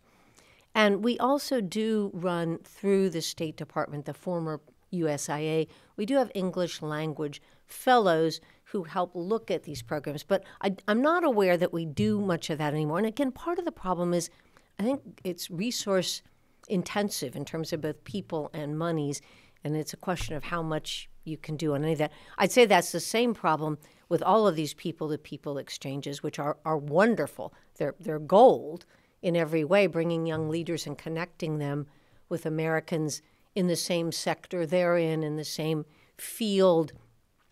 But I think it's it's hard to ever have the funding to bring as many as you'd like from all of the countries. And there are linguistic issues, as, as you wisely point to, that makes that hard to do too. I, I would just add two things. I think, first of all, many of the countries in the region are adding English language instruction into their primary and secondary education because they understand that if they have to, if they want to be internationally competitive, their young people have to speak English. So we are seeing that. But um, I'll give you another interesting example. Indonesia is one of the countries where they haven't done enough to promote English. And that was a real problem for us in terms of trying to promote uh, American universities in mm-hmm. Indonesia because they just couldn't pass the tests in many cases. And so, um, what what we've done is to encourage them to go to community colleges for two years. And uh, those are easier to get into to begin with, and they can beef up their English language skills for two years. They're also cheaper than going to a, a four year school. And uh, a little known fact is that it's actually easier to transfer into a very good school like University of California at Berkeley as a transferee than it is to apply as a freshman. So, so a lot of Indonesian students have, have done a very good job with that and end up graduating from a great place like Berkeley after they've gotten that first two years of instruction in, in, a, in a community college somewhere. So, so that's been quite an interesting and, and positive uh, way forward. And one other comment, and part of the question was Americans learning Asian languages, right? Mhm. Going out in the old National Security Education Program at DoD, which I'm sort of old enough to have looked at and uh, considered applying for. Um, but I, I think um, on there, you know, I, I don't think there, I, I don't think there is enough focus. I think there could be more. Uh, what I am encouraged is, well, let me one. Two, though, there's a lot more interest, right, in Asian languages. I'm on the board of the Korea Society, for example, and interest in Korean language is like tripled, uh, quadrupled. Now, numbers were small, but the interest is there, right, and growing. Um, the capacity lags on these private sector initiatives. It's piecemeal, it's hodgepodge. It's gotten a little better uh, because of uh, the pandemic, uh, basically facilitating more virtual learning. But it is very scattershot, and I'll I'll end by just saying, um, you know, an example uh, of my own uh, son. Right? I mean, I, I he spoke Korean when he came back. He was two years old. He understood it. Let's put it that way. And I ended up, you know, having to drive him out to Olney, Maryland, uh, to to try to do the Saturday Korean school, and that's been and that's a challenge, right? You have to make a real commitment to do that. Um, I did. We did find. Uh, we, we moved to Minnesota. I live in Minnesota now, and we did find, interestingly enough, a lot of offerings um, among certain Minnesota public schools for Chinese, especially. So he's in Chinese immersion now. Um, there's that's growing, and I think to me the answer lies much more at the elementary and secondary levels than kind of these programs that are expensive late in life and just aren't as effective. I think the more we can do younger uh, on the way up, the better off uh, they'll be going forward. Let me stop there. That's great. Thank you. And I just wanted to share a, a notable observation made by one of our online um, viewers, uh, Melanie Bixby, a senior advisor at uh, the State Department. She says that on economic and soft power issues, the State Department has launched PPPs to get more women into the energy sector and the economy in East and Southeast Asia, including through APEC. She says that state needs to coordinate its missions with uh, chambers of commerce to collaborate on linking opportunities and uh, U.S. Uh, beneficiaries. Um, we have time for one more question, if there is one. Uh, you had your hand up first, there in the back. Actually, if they're very quick, we could get to both of them. So you ask yours first, and then we'll come up here. Please make it brief. I will. Um, my name is David Gossick, um, currently a consultant, but in a past life had the pleasure of working with two of your panelists. uh, my question is uh, given your vast experience, um, the Biden administration uh, overall has done, I think, a remarkable job in renewing engagement across the region uh, and bringing a whole of government approach with a, one or two notable exceptions.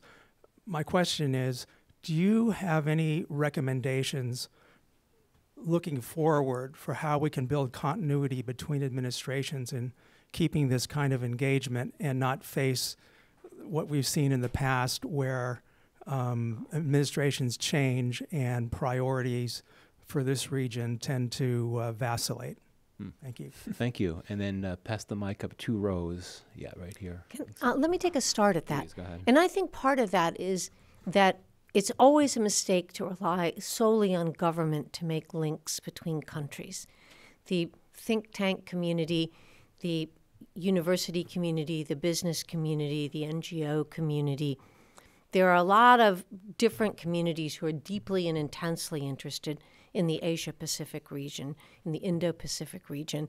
And I think I would hope that those links continue. If you're an American business looking to do business in Southeast Asia, looking to do business in the Indo Pacific, you're going to keep doing that. And I would hope that governments encourage that. Universities, Bob Blake mentioned universities.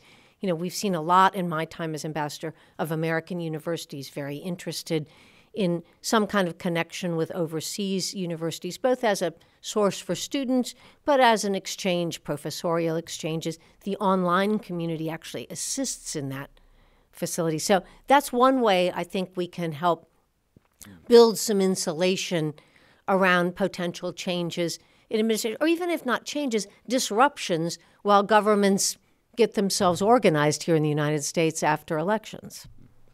Thanks. Let's take the other question. Yep. Um, uh, uh, thank you, uh, um, the panelists, terrific. And uh, so I have one um, short questions. Like as you ma- mentioned, the strategic significance of the Indo-Pacific region is increasing, and uh, in some cases, uh, United States has to overlook what is going on on the domestic front, as you mentioned about the, the Thailand cases. And uh, so, with the region's growing strategic significance and the US's uh, application of value based foreign policy and human rights advocacy has also become more selective, uh, which raise some questions about its moral standings oftentimes. So, my question is how can the US rebalance its uh, strategic interest with, with its uh, value in, the in the Pacific region? Thank you. Two good but tough questions. Mm-hmm. Anyone want to uh, offer a brief comment? I didn't either. The last part of the question. It, How can what? Essentially, the, the values based uh, issue. How can the U.S. pursue its Indo Pacific strategy given perceptions in the region that the U.S. is selective about how it applies its values based foreign policy? All in, all in one minute. Um, uh, they, uh, uh, I'll, I'll take a stab at this because it's a very good question but deserves a longer answer. Mm. let me just give one part of it, which I do think a little bit plays to my bias 10 years on Capitol Hill. Um, the Congress plays an important role in continuing to in, ensure that the executive branch, I think, um, focuses on um, human rights and, and values based. Congress created the Bureau of Human Rights and uh, Democracy at the State Department. It's always been I think speaking as, as, someone who's been on both sides, spent time in both the executive and legislative branch, I think it's always been more forward leaning on these questions mm. and is an important and I think unique part of our democracy that can really play an important role in making sure that those very valid, important, universal rights have the appropriate place in U.S. foreign policy going forward. Let me mm. stop there. That was great. Under a yeah, minute. I, I think pretty hard to disagree with that. I do want to just take issue with your one point. We're not overlooking Thai issues or internal issues. It is that they've had elections, they formed a parliamentary government. It came out in a unique fashion, but for a long-term alliance, you sometimes have to think not only look at the short term and, and a principle of not interfering in a legitimate parliamentary government and look long term at where you can work together. I would just add, you know, that um, it, it is true that in places like India and elsewhere, we, we talk less publicly about uh, our various concerns on, on human rights issues. But privately, I can assure you, our governments are still hard at work on uh, working on mm-hmm. these issues. And what we try to do in, in all of these cases is to help them understand why it's in their own interest to do the things that we're asking them to do. Because in the end, it's going to help increase the support of the government, it's going to help uh, advance stability. It's, there, there are many, many good arguments for uh, doing more to promote things like uh, anti corruption efforts, uh, promoting religious freedom, promoting all kinds of human rights concerns. So so I can assure you the State Department is still hard at work on these issues. Sometimes for pragmatic reasons, they don't talk about it publicly as much. But um, I, you know, I don't want you to think that this has fallen off the agenda. I, it, it, not. Yeah, that's a good point. And often, to be honest with you, if you've got a good working relationship with a country, a long partnership, these are issues best addressed privately. Yeah, you can feel good if you make a speech for five minutes, but you've backed them into a corner. Vice a private dialogue where you're saying, here's what we're seeing, here's why it's in your interest, we're talking to you as a friend. Hmm. Well, thank you. Uh, just in wrapping up, uh, I mentioned, mentioned this earlier. I think it was you, Ambassador Blake. You had mentioned this notion of a network of alliances. Uh, have to put in a plug. The Wilson Quarterly, our, our journal here, uh, its winter 2024 issue focuses on the new multilateralism, which gets into a lot of these issues. It's a great read if you haven't seen it already. This has been a terrific conversation. Uh, we need to wrap up. I want to thank uh, our three panelists for terrific uh, contributions. we're going to adjourn briefly. We're going to have a 10-minute break. At 10:15, we will continue our, uh, our program. So thank you. Let's have a round of applause for our speakers. Thank you. So we're going to continue our conversation.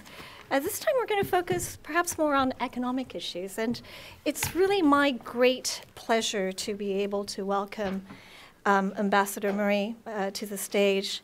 Um, Ambassador Murray is the U.S. senior official for APEC at the Bureau of East Asian and Pacific Affairs at the State Department. He's had this role since February of 2022. And um, he, his career at the State Department has focused on U.S. economic engagement in the Indo Pacific, and he's done that through a number of very high profile positions, including um, as the State Department's Bureau of Economic and Business Affairs Deputy Assistant Secretary, of, uh, Deputy Assistant Secretary for Trade Policy and Negotiations. Um, he's also served as Minister Counselor for Economic Affairs at the U.S. Embassy in Beijing. Uh, he's been counselor for economic affairs at the U.S. Embassy in Canberra. Uh, he's had diplomatic postings in Shanghai, Dar es Salaam, and New Delhi as well. Um, it's wonderful to have you join us today, Ambassador. And let me get to um, this discussion about APEC. We had the APEC summit in San Francisco in November. There were many highlights to um, the summit meeting. We've had a shared statement that came out, the Golden Gate Declaration by the economic leaders about a, sustain, resilient and sustainable future for all, uh, the release of the San Francisco Principles on integrating inclusivity and sustainability on trade and investment policy. But we've also seen some divergences and some controversy about to what extent there is consensus. So I'm, I, am i am hoping that you could put this in perspective. What did San Francisco mean? Sure. Thanks very much. Uh, and I think to start with, uh, maybe the good best starting point is with what you're doing today in launching the Indo-Pacific program, uh, because I think this is a really important development here at the Wilson Center. And if you go back two years, I started in this role, as you said, in February of 2022. Uh, that month was a big month. It was the month that uh, the president released the Indo Pacific strategy, uh, one of the pillars of which uh, was on driving prosperity in the Indo Pacific region. I started my job on February 1st, and then on February 8th, it was announced that we would host uh, APEC in 2023. Uh, so, from the earliest days of my role in this job, the, the White House, the Secretary of State, and other leadership really emphasized to us, you know, what our marching orders were, which was that hosting APEC would be an important part of the Indo-Pacific Strategy's economic prosperity pillar. It was a chance to show leadership in the region at a time when the region uh, was really looking for U.S. leadership. And, um, you know, it would be an opportunity to listen to our partners about the kind of agenda that they wanted to take forward in APEC uh, through, through the host year. And so we did do uh, a very concerted job of going around and trying to listen to what other economies were looking for. And I think particularly uh, coming out of the, the COVID pandemic, coming out of some of the uncertainty that we had faced, you know, we really heard universally from a lot of the economies that, uh, you know, economic growth needed to be on a more sustainable footing, it needed to be on a more resilient footing, and it needed to be uh, more focused on inclusion and in really including all communities so that they could benefit from that growth. And so we moved forward and designed an agenda for our APEC host year uh, around those three uh, big topics. And I think, um, you know, APEC obviously is a whole year long endeavor. Uh, we hosted 10 ministerials across five different cities in the United States, uh, you know, across an 11 month period. But even the most hardy APEC watchers really only focus on it uh, at the summit in November. And so uh, during APEC Economic Leaders Week, I think what we tried to do, as you just noted, was uh, bring home some consensus Um, again, if, if you look at the APEC economies, 21 economies that make up half of global trade and 60% of the world's GDP, but uh, very different situations across the board. Uh, and so, trying to get consensus in a leaders' declaration around issues like integrating inclusivity and sustainability into trade and investment policy, uh, on issues like advancing a just energy transition, uh, advancing sustainable agri food systems, creating some coordination around disaster management, uh, and then also uh, at the ministerial level, moving forward with some outcomes on um, uh, anti-corruption, on cloud computing, on uh, you know education and training for the workforce. And so, on that basis, kind of looking at the, the APEC piece alone, uh, I think uh, we were successfully able to work with our partners to get to some good outcomes in San Francisco, despite all the other challenges that I know we'll, we'll talk about today. Um, but there's other two other very important goals for the week in San Francisco. Obviously, uh, one was, as has always been the case over the last three plus decades, APEC is a place that can serve as a platform for important bilateral engagements. And obviously, the meeting between President Biden and President Xi was an incredibly important part of the week. It landed right in the middle of the week uh, on, on the Wednesday. Um, and I think that the fact that it was as positive as it was and, and, and kept the, the lines of communication open between the United States and the PRC also had some real tailwind of benefits for the leaders' meeting itself uh, for APEC on Thursday and Friday. And then also the opportunity to use APEC as a platform to, to focus on other regional economic engagements. And so, as everybody saw, the Indo Pacific Economic Framework uh, was announced that three of the four pillars had been substantially concluded. Um, in, you know, by the time of San Francisco, and so using it for those kinds of opportunities as well. And so, from our perspective, across the whole range of what we had hoped to achieve in San Francisco, I think there were a lot of uh, positive outcomes uh, that came from it. And now we carry that forward in what we hope is a stronger, uh, institutionally stronger APEC headed into now Peru's host year in 2024 so that we can continue to focus on many of these key issues uh, going forward. Great. Let me begin by asking about the membership. There's 21 economies, not countries. Um, the members include uh, governments like Taiwan. Um, we have seen the chairman's statement um, focus not just on economic issues, but also on quite politically sensitive issues, including Ukraine. Um, and there was a deliberate note stating that not all member uh, economies were in agreement with this. To what extent does this forum provide an opportunity to actually deal with some of the most pressing issues in the in the, the region, but at the same time, by going in too much into the politically sensitive, are we risking diverging these economies still further? So I think the most complicated issue uh, in this regard when it comes to APEC is uh, the Russia-Ukraine issue. Uh, because, of course, Russia is an APEC member. They've been an APEC member since 1998. Uh, I said a moment ago that February 2022 was a big month uh, for our engagement in APEC. It also, unfortunately, was the start of the Russia's invasion of Ukraine. And so, you know, this is also something that our team has been dealing with for the last two years in collaboration with other interagency partners on, on how to address it.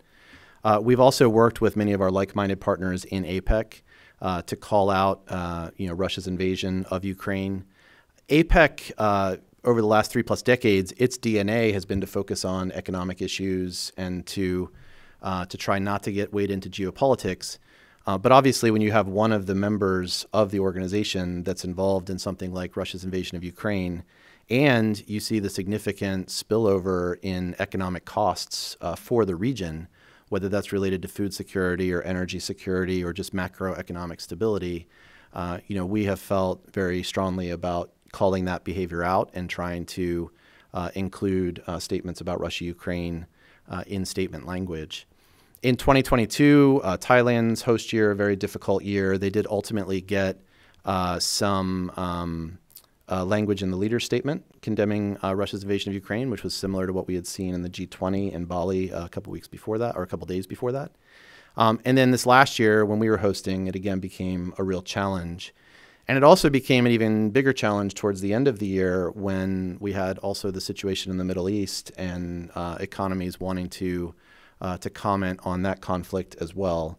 Uh, and so that's where that chair statement that you referenced came in, in terms of noting the impact of some of these geopolitical situations on economic growth uh, in the region and continuing to express concern about one of our members uh, being engaged in a, in a war uh, with, its, with its neighbor. And so, you know, that is one, one set of issues. I think the other set of issues that you uh, talked about uh, is, you know, yes, APEC is uh, known, the members are known as economies rather than countries because uh, you do have 21 members, which include uh, Taiwan and Hong Kong. Uh, there is always going to be um, some friction that plays out on the cross-strait relationship that plays itself out in, in APEC. Uh, the U.S. position is very clear on that, that uh, Taiwan, participating as Chinese Taipei, is a full and equal member of APEC, and we want to, to see them be able to participate um, to the, the, degree that they want to participate.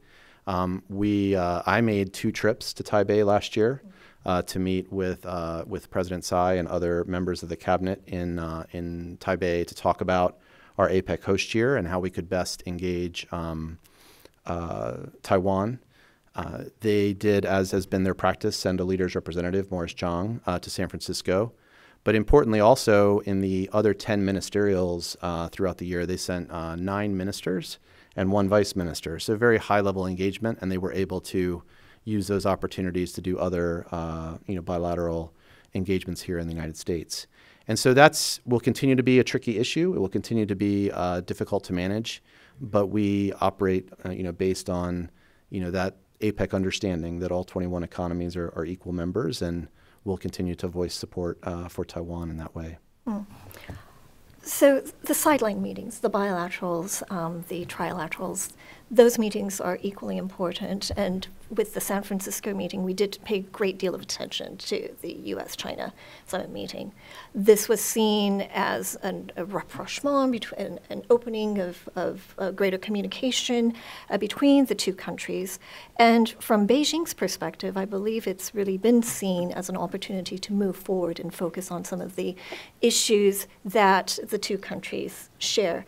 Have we seen much progress between these two countries since? And how do you think the agenda setting, that, that kind of improvement um, between the relations between Beijing and Washington will be reflected in the upcoming APEC meeting? So certainly, I think you said it very well there. That you know the goal of that uh, meeting between President Biden and President Xi to be about keeping the lines of communication open and throughout 2023, there were a number of opportunities to do just that with the visits by Secretary Blinken and Secretary Yellen and Secretary Raimondo to China, as well as the visit by uh, uh, Foreign Minister Wang Yi here to the United States. And you know, there's still a number of different uh, conversations ongoing between the United States and China uh, since November. And so we do want to make progress on some of the issues uh, that they discussed uh, in that meeting. And I think that we've certainly seen in the, in the APEC context, uh, you know, you can tell for sure based on the interactions with uh, our Chinese counterparts, um, you know, how the bilateral relationship is doing at that particular moment in time. You know, I think we have a fairly, I have a fairly good relationship with my PRC counterpart. I meet with her uh, at every single APEC meeting. We also speak uh, virtually. We just did a, a couple weeks ago. And so, um, you know, we'll continue those conversations to see how can we also build on that momentum in the APEC context uh, to see what, what we can get done.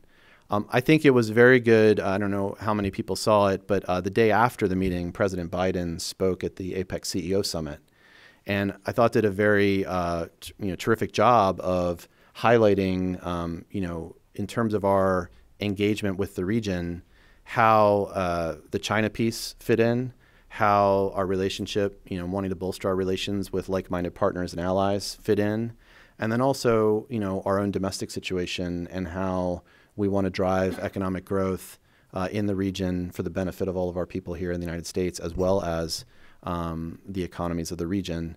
And so, you know, it was, I think, a very effective way of, of weaving in as well um, this China piece. And, and obviously, um, at uh, the APEC leaders meeting, there was a lot of uh, commentary by other economies as well on um, you know being happy and and uh, very uh, gratified to see the United States and China getting together at that kind of level.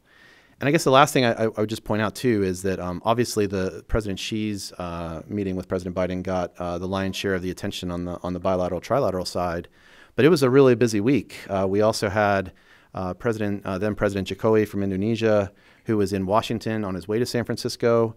Uh, we had a bilateral meeting between President Biden and, and um, the President of Mexico. we had a number of engagements the Secretary of State had with um, the uh, uh, Philippines signing a 123 agreement uh, with Trilat with Japan and Korea. Um, and then, you know, as well, the IPEF opportunity with leaders. So it was a very busy week and, and a lot of opportunities to engage uh, bilaterally, trilaterally, and in, in, smaller groups, which is a great thing, great opportunity that APEC provides. Right.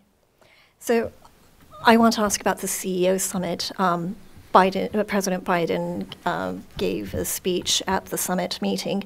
Uh, you talked about Morris Chang, the chairman of TSMC, the, the Taiwanese um, chip making conglomerate. Um, what is the role that the private sector plays in, in all of this. Right now, my understanding is that they are, in terms of representation, APEC, you have the CEO summit meeting and you have the separate leadership summit meeting as well. But there is a convergence. We talk about mm-hmm. the, the, need for greater cooperation, and certainly when we talk about the need for innovation or creating economic opportunities, we cannot have that siloed, right? Are there opportunities for greater overlap? Can APEC be that forum? Yep. Yes. So I, you know, one of the things I love about APEC is there is that really key opportunity for public-private sector collaboration, and this was really one of our goals going into the year I had uh, worked on APEC in 2011 um, when I was working in the office of Undersecretary Hormats at the time, and um, you know I had seen firsthand how you could in a U.S. host year really bring government and private sector together for some strong outcomes. But I think what we had seen over the last few years, and you know, APEC had had a rough few years, right? You had the COVID years where it was online. Uh, in 2019, Chile was not able to host the leaders meeting because of domestic situation there. In 2018, Papua New Guinea was hosting and, and had some challenges. And so it had been a while, we felt like, since there had been a really strong public private engagement, uh, not only at the CEO Summit and in Leaders Week, but also throughout the APEC year. And so that really became a priority for us. Uh, I often would refer to the public private sector collaboration as being the secret sauce of what makes APEC special because since APEC is a consensus based, non binding organization, since it is multi tiered, uh, goes from leaders to ministers to senior officials to working groups, there are a lot of opportunities for the private sector to have a voice in saying, you know, what if we did, uh, you know, made, made some agreements around this? What if we made some agreements around that? Um, and so we also wanted the CEO Summit to be a showcase of that and have the opportunity for leaders to literally walk across the street um, to the CEO Summit to be able to engage with the private sector. Um, my first visit to San Francisco in our host year was in January uh, as we started the preparations and the planning.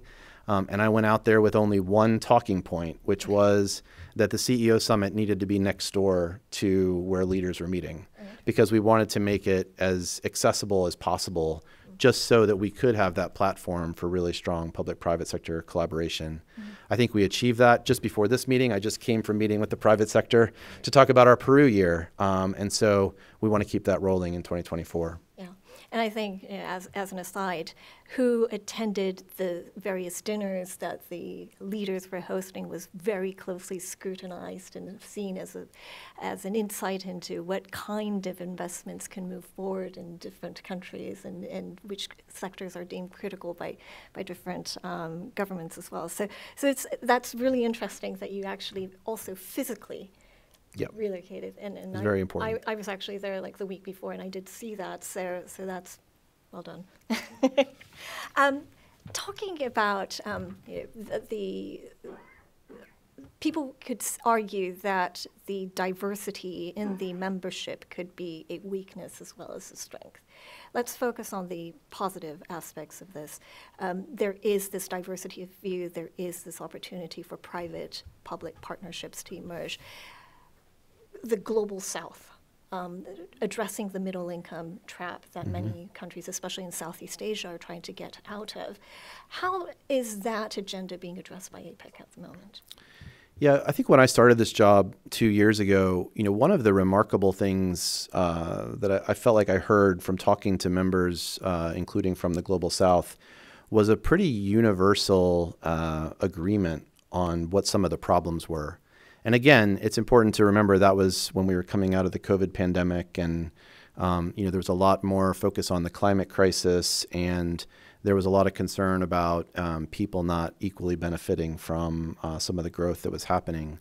And so when you talk to Peru, when you talk to Chile, when you talk to our ASEAN members, when you talk to Papua New Guinea, I, I think all of them, again, they wanted to, they, they were saying very clearly, we need growth to be on a more sustainable footing we needed to be on a more resilient footing, and we needed to be more inclusive. And so that was really a, big part of our focus. Now, I think where the divergence comes in, where the challenges come in, is what do you actually do about that? Uh, and so, you know, the nice thing about APEC again is to take to, to put it on in a positive uh, way. APEC, you know, is a consensus-based, non-binding organization, so you can push the envelope a little bit more in APEC than maybe you can in a in a treaty organization. And so uh, to be able to do that uh, and say, all right, well, what are some of the things we can do around sustainability, for example? And I give huge credit to Thailand because Thailand in 2022, as I said, APEC had had a few rough years. It was just coming out of the COVID pandemic. And what did Thailand do? Thailand said, if we're, if we're serious about putting APEC on a more sustainable footing, then we need some goals around how we do that and, and what are some of the things that we can do as an organization to make that happen. And so their signature uh, achievement in 2022 was were the Bangkok goals on biocircular green economy, and it really, um, as I described it to Secretary Blinken, you know, really put sustainability uh, on you know as a uh, basically a, a, platform for everything that we're doing in in APEC. Um, that there has to be a sustainability uh, goal attached to it, and so I think that was very important. Um, and but I think that it is really important that we are continuing to engage with uh, like Peru, Papua New Guinea, um, some of the smaller economies, uh, and Peru has taken on the leadership role of, of hosting APEC this year. And so, um, you know, how can we turn what could be a shortcoming into a strength? Um, I think if you designed APEC today, you know, you might not come up with the same 21 members, but um, you know, these members have been with us for 25 years, and I think there's strength in that institutionally as well. In that, uh, you know, we now are three plus decades into this experiment, and it's, you know, gotten past the Asian financial crisis, past 9/11, past the global financial crisis, past now the COVID pandemic, and is still uh, serving as a convener to bring uh, to bring people together from around the region. And my understanding too is that despite the continued you know, sources of tension, no government, no economy has actually left and abandoned APEC. Correct. Right? Yep. We've been the same members since 1998. Okay. And that is, again, a source of strength as well. It is non binding. Um, however, it is an opportunity to get together not just for the summit meeting, but for this agenda as well. I'm going to have to turn to some of the um, disappointments um, of the APEC meeting and specifically turn to IPEF and the um, the inability for the United States to push through with the trade pillar on, on IPEF. What role can APEC play in ensuring that digital trade becomes part of the, uh, the agenda for these 21 member uh, governments? Um, and where can consensus lie? Mm-hmm. So I think it's really important to note that between APEC and IPEF, there are 12 members in common. So um, aside from India and Fiji, the other the other 12 members of IPEF are all members of APEC as well. And I think that when you looked at the four pillars of IPEF, there was a lot of complementarity uh, between what IPEF was trying to do and, and what APEC was trying to do. And again, you know, last year with hosting APEC, you know, having the privilege to travel around the United States, which is something that uh, State Department diplomats don't always get to do as much as maybe we should, and you know, being able to hear directly from people around the U.S. about uh, you know what they're looking for from their international economic policy, and and like a lot of the other economies in in APEC, it was we want more sustainable growth, we want more resiliency, um, we need to address supply chain challenges, for example. Uh, we want to make sure that all communities are included. Uh, we, we are looking for jobs and good jobs, jobs of the future type jobs. and uh, you know how can we encourage more investment in the United States, um, you know that, that can make that happen. And so you know I think when you look at the the IPEF pillars uh, across the board, there are the three that were substantially concluded by November. Uh, there was the supply chain pillar, the decarbonization pillar or clean economy pillar, and then the fair economy pillar on anti corruption and tax. Um, again, that matches very well with what we're hearing from a lot of the other economies in APEC, as well as our own population, about wanting a more sustainable, more resilient, more inclusive uh, growth. And so I think it's important to note, too, that those pillars that have been concluded uh, will also help facilitate trade in the region um, in terms of engagement with uh, other other economies. And, and, I guess the other thing I would say is, you know, it also is important to note that um, all of that was achieved in just 18 months. Uh, the president traveled uh, to the region in May of 2022, and he announced uh, that we were going to launch uh, the negotiations. And 18 months later, you know, concluded three of the pillars and continue to engage on, on the other one. So I think um, you know that's a very uh, I think an important achievement uh, in a very short amount of time. Certainly, there are lots of things that we can all do uh, through APEC and through other uh, mechanisms, um, you know, uh, bilaterally and regionally, uh, to try to you know continue the conversation as well on um, you know digital trade, for example, and, and some of the other topics, and and try to again be complementary in, in the way we go forward. Um, but you know, I think uh, given the, the time that, that they had getting to the result that we did, uh, I think was a was a good result to, to get to by San Francisco. Hmm. Okay, all right, thank you. Um, I do want to remind those that who are watching us online. There is a chat box below, so you can submit your questions um, online as well. Um, I'd now like to turn over to the audience here at the Wilson Center. If you have a question, please raise your hand and a microphone will make its way to you. Yes. Yes, uh, my name is Roberta Lajous. I am a retired ambassador from Mexico. Uh, what would it take to, to bring TTP back from the dead? well, of course, the you know, other members uh, have continued forward with the CPTPP uh, and continue to advance that that agreement. You know, I think here in the United States, um, you know, as has been discussed uh, for the last couple of years, uh, there are certainly you know domestic challenges to being able to uh, for the United States to be able to to rejoin uh, TPP. certainly, there are a lot of conversations that have happened during the course of the administration with other partners who may wish for the United States to do that. I think that um, certainly with the Indo Pacific Economic Framework, uh, with our leadership in APEC, with other um, engagements that we've done through the Quad and, and also bilaterally, we just had Secretary Raimondo out uh, in the Philippines last week on the Presidential Trade and Investment Mission. There are certainly a lot of ways in which we continue to, you know, advance uh, that trade agenda uh, throughout the region. Uh, but in terms of the United States rejoining uh, now the now reconstituted CPTPP, uh, you know, I don't think there's any plans to do that in the near term. Uh, yes. Thank you, Piper Campbell, another recovering ambassador. Matt, thank you very much. It strikes me. So I sort of have two questions linked. Part one is building on the previous question. In the past panel, there was a number of references to USMCA as an agreement to which the US has signed, which has some elements that might be interesting in terms of looking at the Indo Pacific as well. And I wonder if you feel like that's something that's possible within either the format of IPEF or APEC or something else.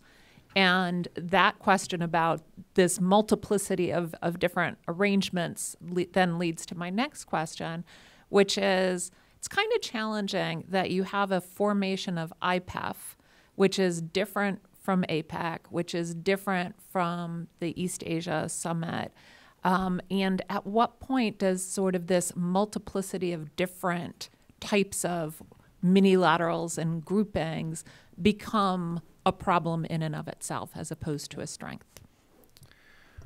Well, I think on the multiplicity of groupings, I mean, obviously for 15, 20 years, I mean, having this conversation around uh, some of the regional preferential trade agreements and everything, and just looking at the, the region where you have not only TPP, but you also have RCEP. Um, there's also a, a, China, Japan, Korea trilat. There's also the engagements through ASEAN. Uh, Australia also has a number of FTAs in the region. Um, Peru has talked about how their membership in APEC has really helped facilitate uh, FTAs and minilaterals and things that they've been able to join as well, uh, and they're still in the CPTPP.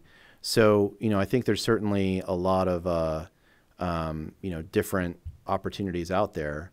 I think for you know starting IPEF was looking at you know a new opportunity with a new set of partners, and again trying to be responsive to uh, you know what are a lot of people in a lot of these economies focused on right now uh, in terms of those four pillars. I think again I go back to early 2022 coming out of the COVID pandemic. Um, you know trade didn't stop because of tariffs in 2020. Trade stopped because of supply chain challenges uh, which when you look out across a lot of these agreements, uh, they don't have anything on supply chains. And so IPEF offers uh, a first of its kind supply chain pillar, uh, which I think, again, I don't, you know, I'm sure you had a similar experience in your career. You go home and you start talking to the family about what you do as an economic officer at the State Department, and people nod off and fall asleep. But when I came home and said I was working on supply chains, people paid attention, right? Like that was uh, that was a big deal.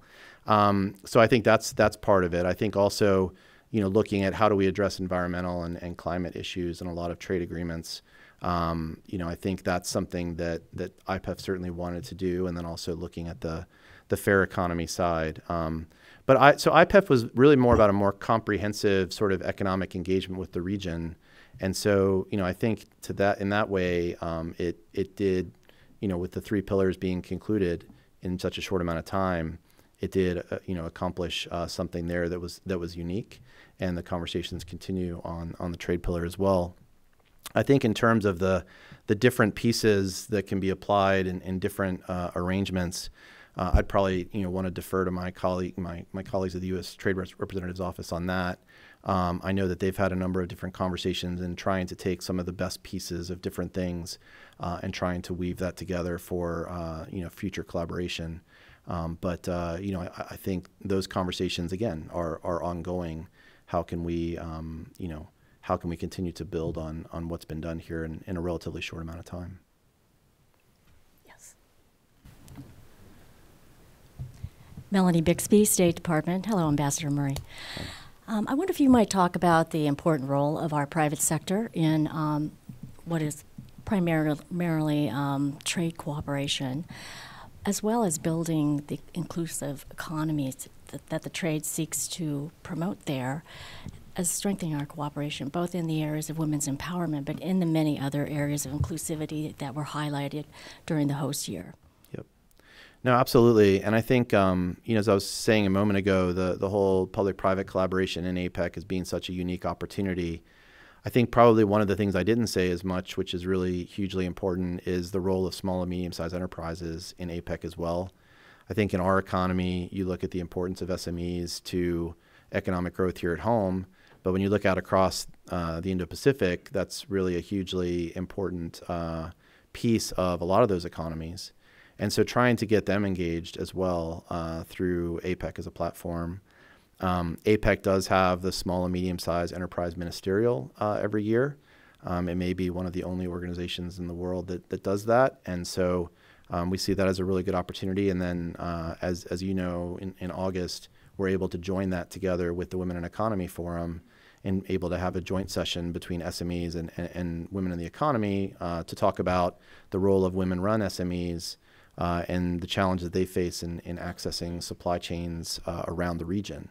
And so, you know, trying to use APEC as a platform to also engage all of those different voices um, from the private sector, also uh, on the inclusion side, uh, is critically important. And the U.S. has played a really positive role uh, on this uh, for the entirety of APEC's existence.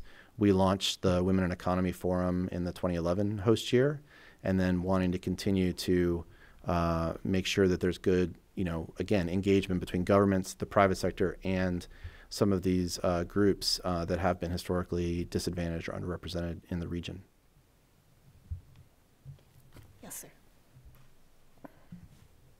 Hi, I'm Akshob. Um, I was in the newsroom in 2013 in Singapore when TPP was getting galvanized and Japan was coming on board. And uh, obviously, that was very vital to President Obama's pivot to Asia. And then, of course, when the Trump administration came, uh, the overarching narrative was this was kind of scoring an own goal or leaving, uh, allowing you know China to kind of get a insight into um, uh, ASEAN. Um, my, my question there would be one is, would, did you see ASEAN centrality tested at that point of time? Uh, given the militarization of the South China Sea happening? And two is right now under the Biden administration, do you find that it's now clawing back on some of the lacunas left behind by withdrawing from the TPP, especially now with APEC getting a more central role? Well, I think ASEAN is hugely important to all of these things that we're talking about. I mentioned there's 12 partners in common between APEC and IPEF, for example. Well, seven of those are ASEAN members. So ASEAN accounts for a third of APEC's uh, membership uh, with those seven. And so, you know, we've seen, you know, over the last couple of years, lots of uh, new opportunities to engage ASEAN as a bloc. Uh, there was the uh, the ASEAN Special Summit uh, that was here in the United States in 2022. Um, certainly, we've very much prioritized the East Asia Summit opportunity every fall as well. And so, you know, ASEAN's role is, is hugely uh, important. And then on all the issues that we're talking about in APEC, um, you know, if it's sustainability, for example, the ASEAN members have a huge role to play uh, in a just energy transition. We have just energy transition partnerships, for example, with Indonesia and Vietnam. Uh, we want to continue to build on that. Um, ASEAN has a huge role to play when it comes to resiliency. Uh, obviously, a lot of the supply chain um, resets and um, recalibrations over the last couple of years have taken new investments into uh, ASEAN member countries. And so, you know, they, they are increasingly playing a key role, uh, including in some of those jobs of the future, like semiconductors, EV batteries, uh, some of those type things. And, you know, ASEAN also is, uh, is so important to the, the inclusivity side. Um, we don't want to be in a situation where we're only working with Singapore, for example. Um, so, uh, you know, when it came to IPEF, uh, wanting to make sure that Singapore, Indonesia, Vietnam, Brunei, Thailand, the Philippines, they were all they were all there. And so I do think that um, you know that engagement is, is hugely important. The other point I would make here is that when we look at that Indo-Pacific strategy, economic prosperity pillar, and when we you know, when you look at the, the, the fact sheets and things that have come out, um, you know, around the two year anniversary a few weeks ago, you know, I don't want to lose sight of the fact that um, we, we tend to focus on a couple of things here. You know, we focus on IPEF. I certainly focus on APEC because it's what I do on a daily basis. Um, but there's a lot in there that we've been able to re energize some of these um, relationships with the region. I mentioned the Secretary Raimondo was just out there. Secretary Blinken is also, uh, you know, out there. Um, and so, uh, you know, we have other bilateral and, and trilateral arrangements um, that are happening, um, you know, throughout the region. And you know, I have a I have a whole list that I could go through, but there there is a lot that's happening, uh, particularly on supply chain collaboration and other things uh, with the region um, that I think is uh, is really important. Not to mention, of course, as well the the engagement with the Pacific Islands, uh, which you know we were very happy to see the the funding come through for uh, the COFA agreements uh, just in the last few days. So um, there, there is there is a lot happening, and I think sometimes we focus on just one or two pieces of it. Um, but the administration's been clear that through this strategy and through the economic prosperity pillar, we want to take a multifaceted approach to the region. And also the Wilson Center's Indo-Pacific program is very much in alignment with that. We want to take a more uh, multifaceted approach to the issues. Um, concerning the region. We don't want to necessarily just focus on a particular country, uh, but we want to look at institutions like APEC, in uh, ASEAN, how they impact, and what uh, NATO, how they are looking at the region, what kind of partnerships there can be at the institutional as well as at the state level as well. Um, we will be launching, this is again the inaugural event of our program, but we are um, launching a year long series about the Indo Pacific and the world. We are also um, launching today as a, a series of policy briefs uh, regarding um, the region as well. So I invite you to uh, not only uh, come back again, but also look at our website um, for our policy briefs as well. So we are now um, slightly behind schedule, um, but I do want to thank Ambassador Murray for being um, being very generous with his time. Thank you so much for joining us today, and I hope we can invite you back again soon. No, thank you. It's been great. Appreciate it.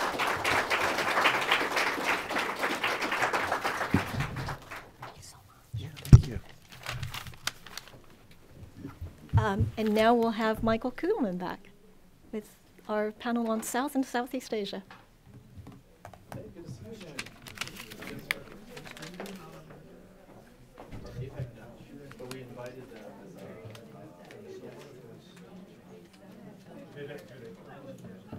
They came in November as a They are a member in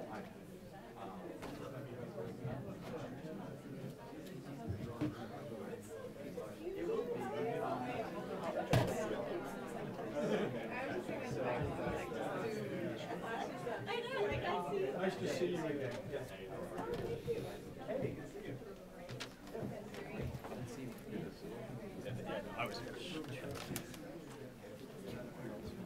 Hey, how are you, Pete Larson? Honey, nice to meet nice you. to meet you. Thank you. What is this? Hi, Meredith. Pete Larson. Meredith meet Miller, you. nice to meet you.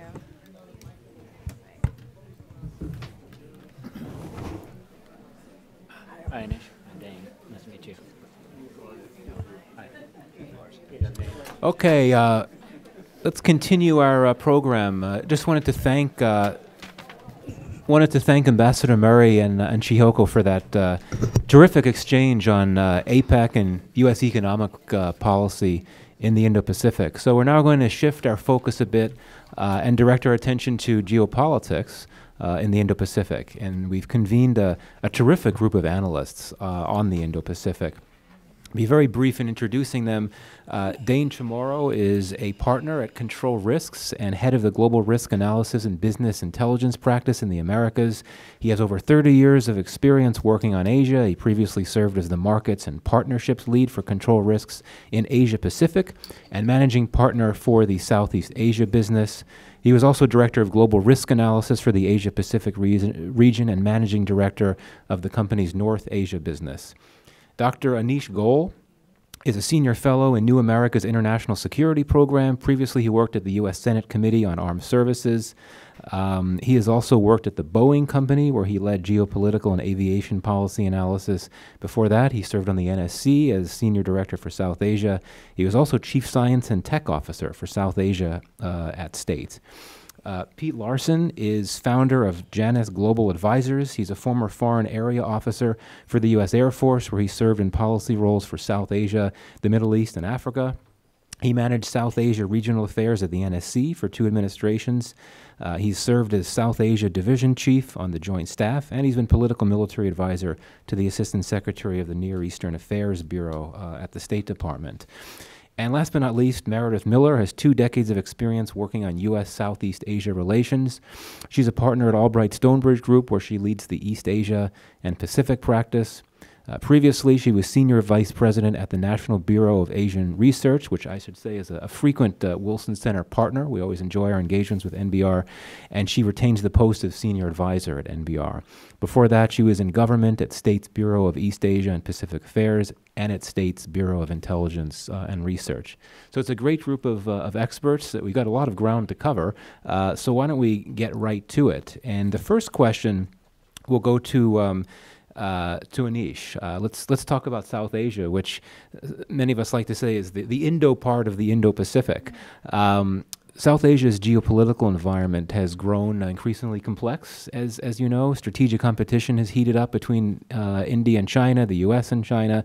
So, what do you see? Um, today as the key U.S. interest in South Asia against this backdrop of intense competition? What are the inroads that uh, the, the, the U.S. is trying to make in South Asia as you see it, and what are the key risks that it faces as it pursues these interests in South Asia? All right, thank you, Michael, and, and thanks for kicking it off with the easy one here.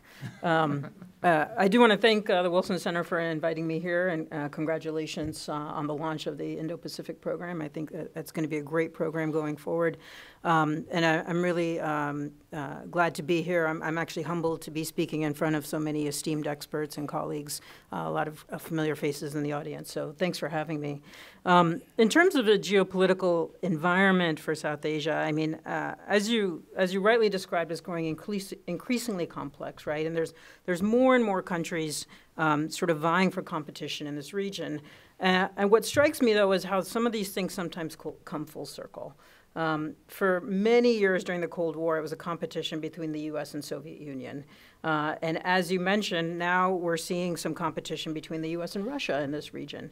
Uh, of course, this is not as strong as China playing a more and more increasingly um, competitive role in this region. So that's something that the United States is um, is is grappling with as well. And so you can see that, you know, perhaps more than any time in the past 50 years, um, South Asia is becoming sort of an important region for, for lots of different global actors, um, not just India or not just the United States. Um, and so when we talk about the key U.S. interests in South Asia against this backdrop of intense competition, uh, I think the interests are the same that we've seen uh, for decades now, but sort of evolving in the character uh, of those interests. And those interests, of course, are security and stability. Um, and how it's been evolving is that, you know, it, it, used to focus intensely on preventing nuclear war in the region, uh, I think, as everyone is familiar. And then it shifted to preventing terrorism uh, and preventing not only cross-border terrorism in the region, but terrorism being exported uh, to Western countries and particularly to the United States. Uh, and then it shifted back to nuclear war, uh, and then it shifted back to terrorism. And now it's shifted again to preventing war, but it's more of, of preventing war between China and India um, than it is between India and Pakistan. I think the sort of the threat of war between India and Pakistan has receded into the background a little bit, and people are intensely focused on in the India-China competition. Um, and so, what the U.S. is trying to do, right, uh, is trying to manage this competition. Um, and, and I don't want to say that this is the end all be all of U.S. interests in the region. Even if China wasn't there, the United States has significant security interests in the region. You know, a partnership with India is a critical um, strategic priority for the United States, as it has been for 20 years, irrespective of what China is doing in the region. And so the United States, at the same time, is trying to ensure security and stability, is trying to is trying to build partnerships in the region. Um, the partnership with India is going pretty well so far, but maybe with some other countries in the region, um, there's still a lot of work to do.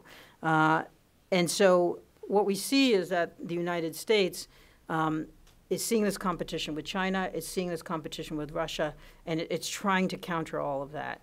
Um, the relationship with India, although it's going well, you can see that the, the competition with Russia is ramping up, particularly within the last couple of years. Um, both country, both China and India are trying to cultivate ties with Moscow, and this has really scrambled the geopolitics in South Asia uh, because it creates this sort of triangle of sort of competition, and then you have the United States sort of layering in as well on top of that. And so, and so managing the security, managing the stability, and increasing partnerships. When we talk about key risks that the United States is facing in this region, it comes down to two main things. Uh, one is that, you know, don't forget about the smaller countries.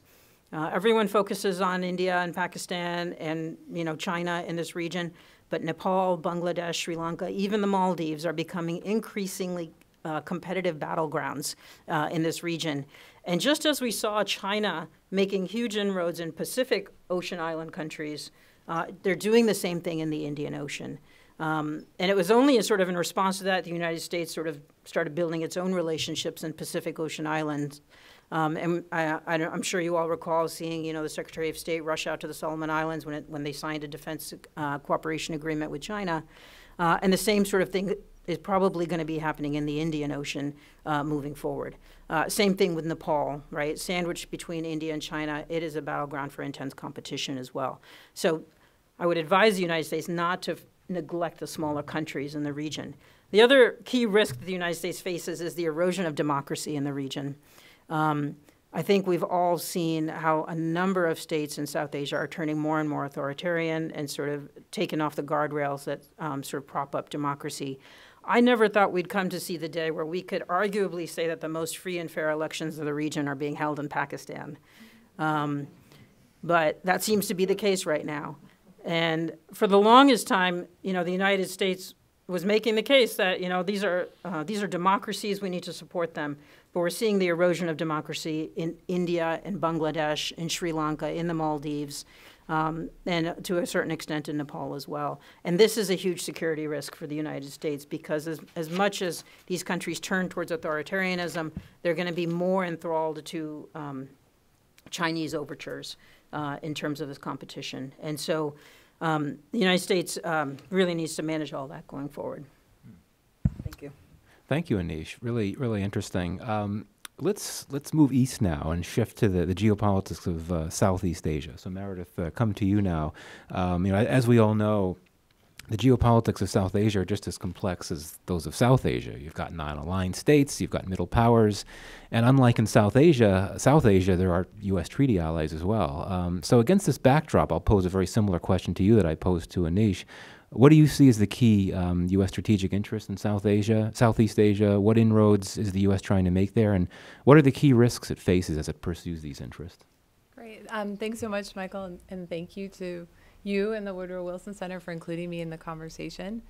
Um, before I embark on answering that um, broad and very important strategic question, I just wanted to start with a couple points of context about Southeast Asia, um, keying off uh, something uh, Michael said in his framing. So, one, it is a very complex region, and I think it's important to acknowledge in any conversation about Southeast Asia how diverse of a region it is. So that diversity is in terms of economic development, political systems, um, but importantly for the conversation that we're having here today, um, in relationships with the U.S. and China and other regional powers.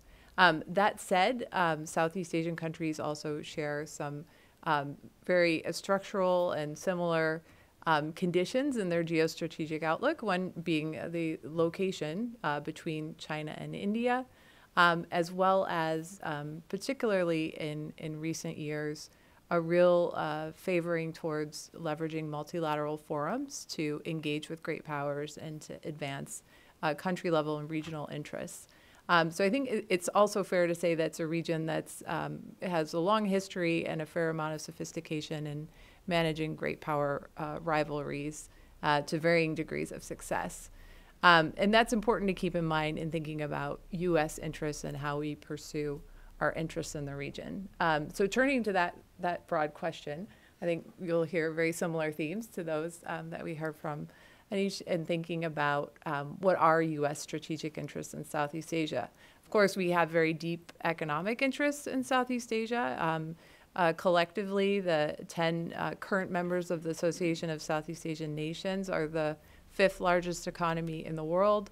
Um, it's the second most important export market for the United States. And importantly, in thinking about our future interests, it's also a region with a tremendous amount of potential for growth and additional development. Um, some of the economies in the region are projected to grow at over 6% over the next five years. Um, it is at the forefront of technological adaptation, the location of important natural resources and critical minerals, um, and in many of the key economies in the in the region, um, younger populations as well. So this is economically very strategically important region for the United States um, to remain engaged with and to remain competitive.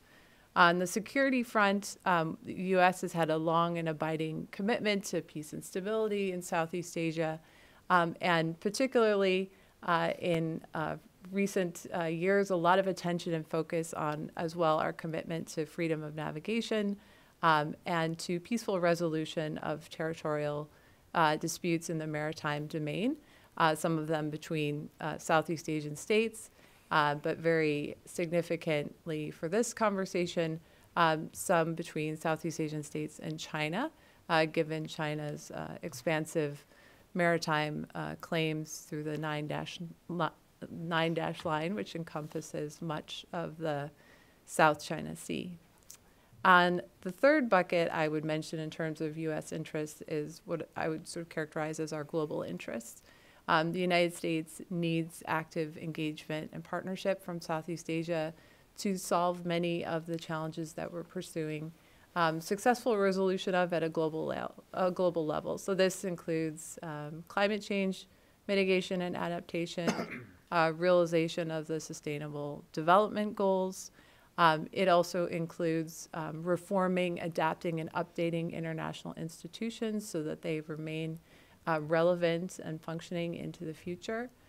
And I, I mentioned earlier the economic diversity of Southeast Asia. Some of the richest countries in the world are located there. Um, but importantly, uh, many Southeast Asian countries are also targeting um, their achievement of developed country status um, within the next 15 years, which will make them even more important uh, players uh, for the United States and for others on the international stage. And in the context of great power rivalry, uh, Southeast Asian countries and ASEAN also have an important role to play as conveners and coalition builders around some of these global challenges.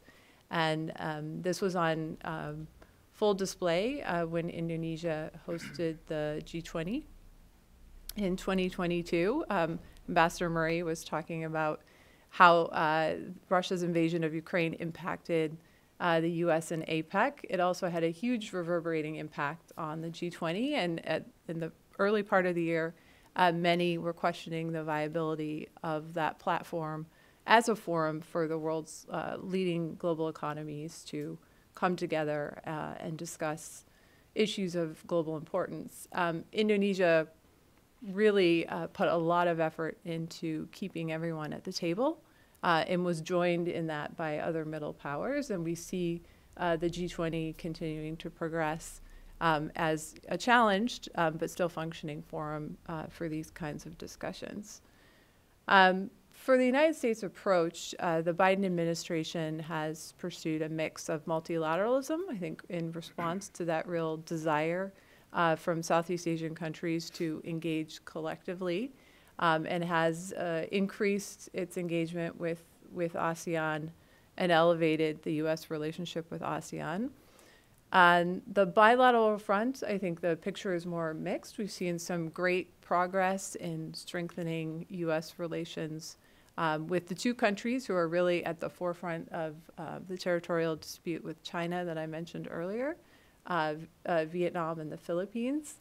Uh, President Marcos will be uh, coming to Washington uh, in April and joining Prime Minister Kishida and President Biden in, in a trilateral discussion, um, as well as a, a bilateral meeting at the White House um, which is another example of how the Biden administration has pursued objectives in the region, which is through uh, minilateralism and bringing in select partners and allies to um, subsets of uh, friendly or partner nation discussions around issues of uh, common interest in the region.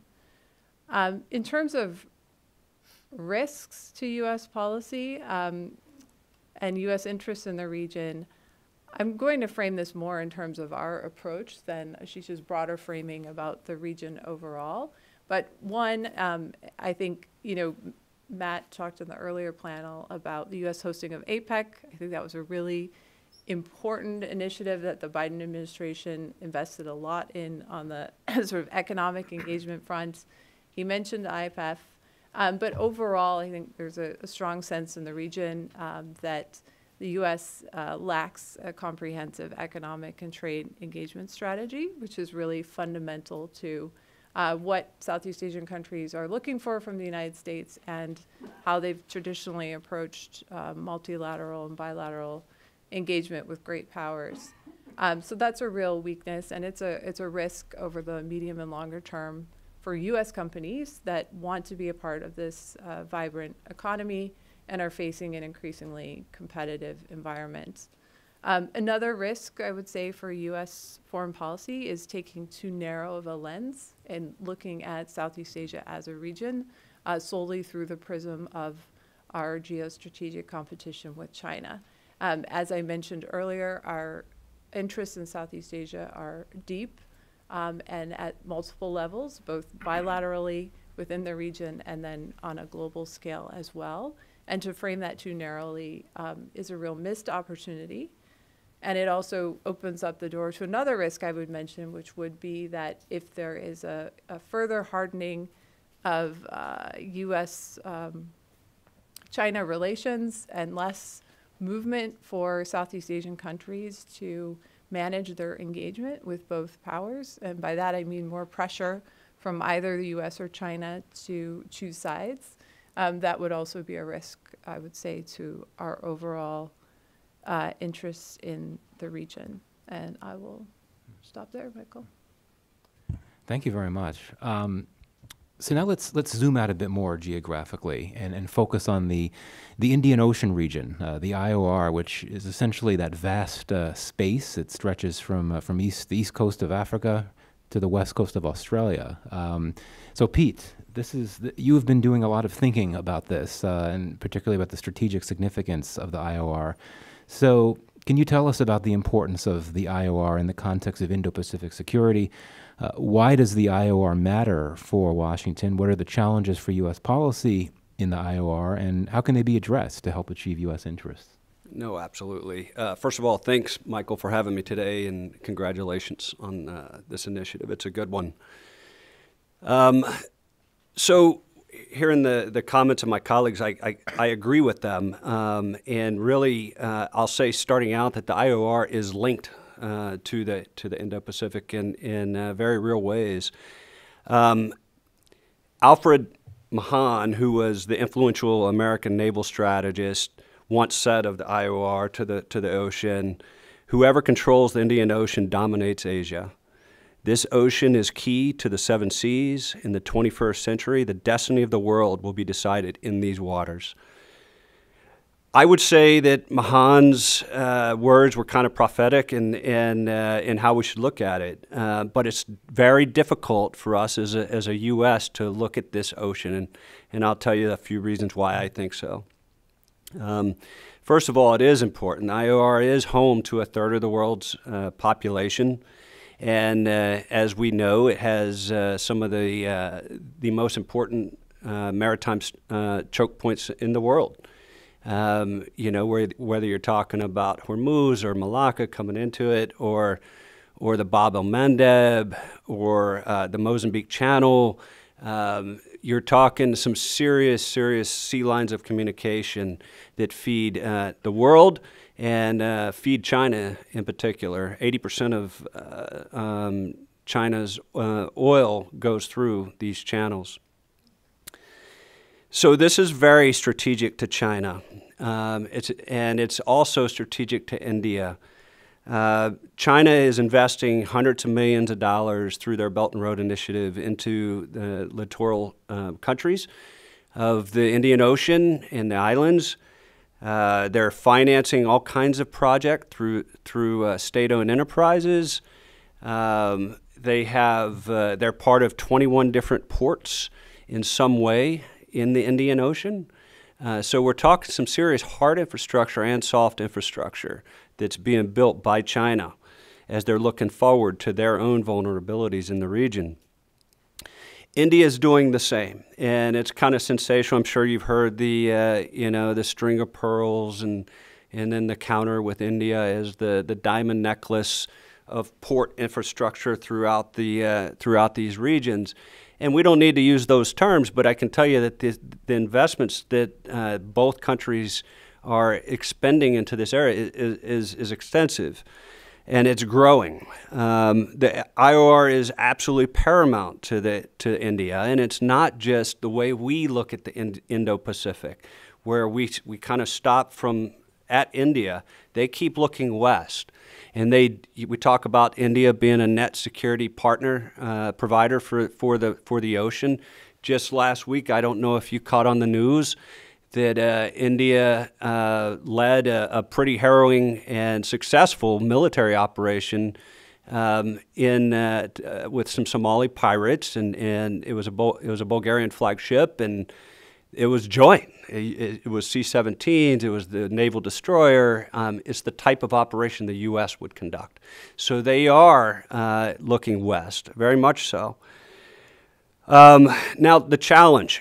And why it's tough for us as a what I think is as a as a, as a U.S. to to have a strategy um, of coherence or a policy um, that protects our interests in this region. In the Indo-Pacific, you have one COCOM, the Indo-Pacific Command. Uh, that kind of looks after it. And, and really, when you get into the State Department bureaus and the NSC, it's, it's very similar. The Indian Ocean is, uh, what, is completely different. I mean, you're, you're talking about four COCOMs uh, from, from the U.S. military. Uh, that there's seams in between each one of those. Uh, as we said, Indo-Pacific, the Indo-Pacific Command stops at India. Um, so what happens past that? Well, you're going into CENTCOM, you're going into AFRICOM. And this makes an extremely, I can tell you from experience, extremely challenging when you're trying to pull it all together into to, uh, a look that's kind of coherent. Um, it's the same thing with the state bureaus. There's four state bureaus looking at this area. When I was on NSC, there's four four NSC directorates. It's very difficult. And I'm not saying that there aren't kind of global looks uh, within the Pentagon or, or elsewhere that, that try to pull it all together. But trying to get the bandwidth on the Indian Ocean is, is extremely difficult. And in my opinion, it creates a strategic gap. So I'll leave it there and um, turn it back over to you, Michael. Well, thank you, uh, Pete. So Dane, let's come to you now. Uh, you you look at risk uh, in the Indo-Pacific from a from a business perspective. Um, what what do you see as some of the key commercial trends playing out in the Indo-Pacific, particularly in terms of great power uh, economic activity and competition? And what do you see as uh, key risks key risks that companies face in navigating these complexities and volatilities?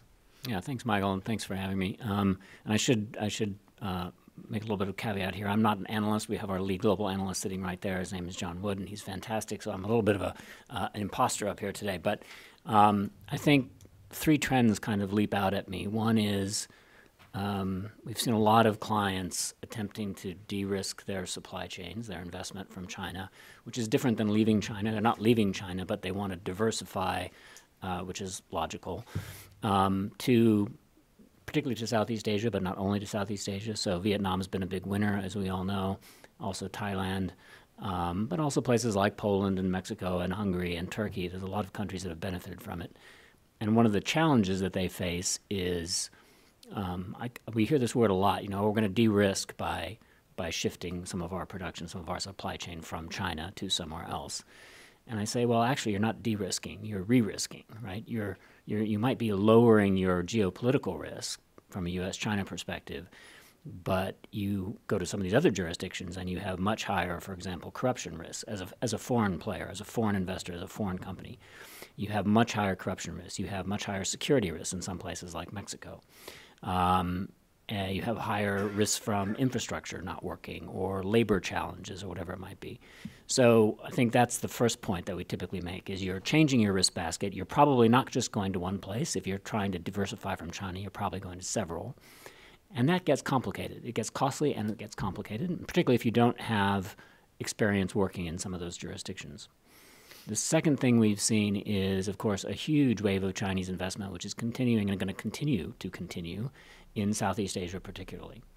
Whether it's automotive, whether it's electronics, whether it's digital, um, critical minerals that Ambassador Blake mentioned earlier, and particularly the Indonesian uh, nickel space, um, I don't see that slowing down, and it really, in many ways, swamps a lot of the other uh, investment from wherever it might be coming to into the ASEAN region.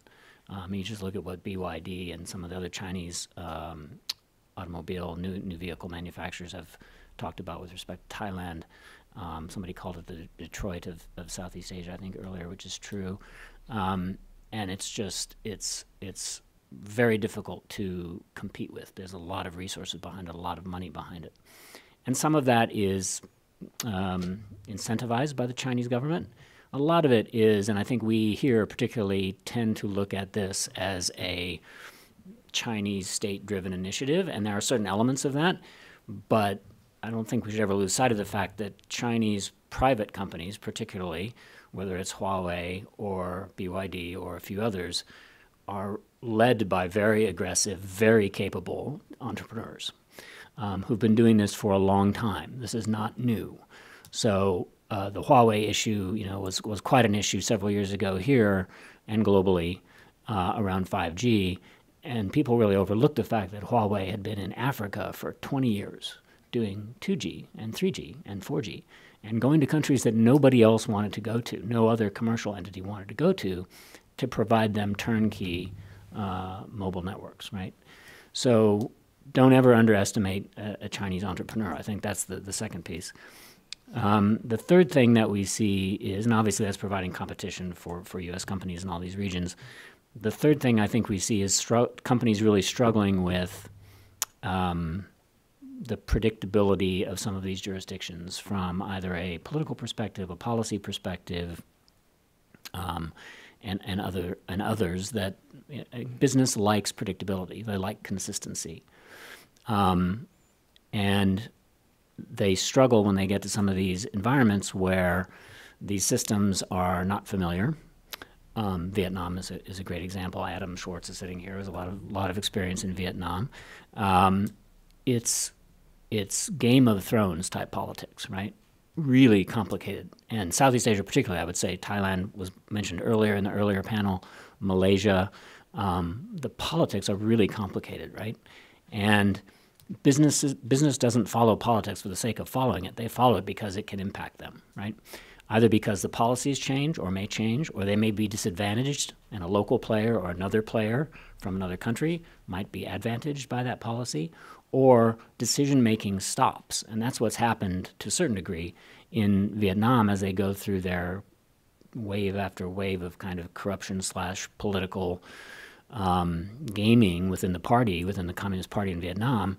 People get fearful of making decisions. Bureaucrats stop making decisions because they're fearful of how that might be used against them when the pieces on the chessboard change and you have a new Politburo, a new central committee, a new leader, et cetera, et cetera. And we find that businesses have a really, you know, really struggle with that, which is not not surprising because that's not what they do. And so a lot of what we do is help them with that piece, which is seeing behind, okay, the scenarios around if if this person is the next leader, the next prime minister, the next bupati, the next chief minister, whatever it is, how could that affect your investment, your operation, uh, your competition, your the regulation that you have to comply with, and provide them that kind of analysis on a on a regular basis. So I think those are the things that we see them, you know, that we see businesses uh, challenged by.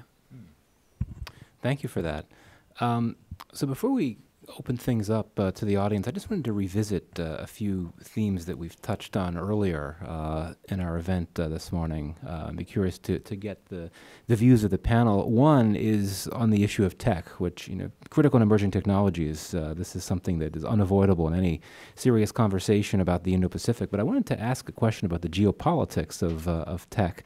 Um, and this is for anyone that would like to respond. How are critical and emerging technologies affecting the geopolitical environment? How are they shaping relations between the countries of the Indo Pacific? And what might this entail for, uh, for U.S. strategic interests? You want to take a crack at that? Yeah, uh, please. I, would like to just start off. Uh, I, I, recently uh, saw that uh, the SCA Bureau within state uh, went over to, I think it was Sri Lanka and uh, held what I thought was a really, really important conference, or was part of one on cybersecurity. Um, and it really did pull in uh, a lot of the uh, a lot of interest in the region, and it's these types of things that I think are going to keep growing.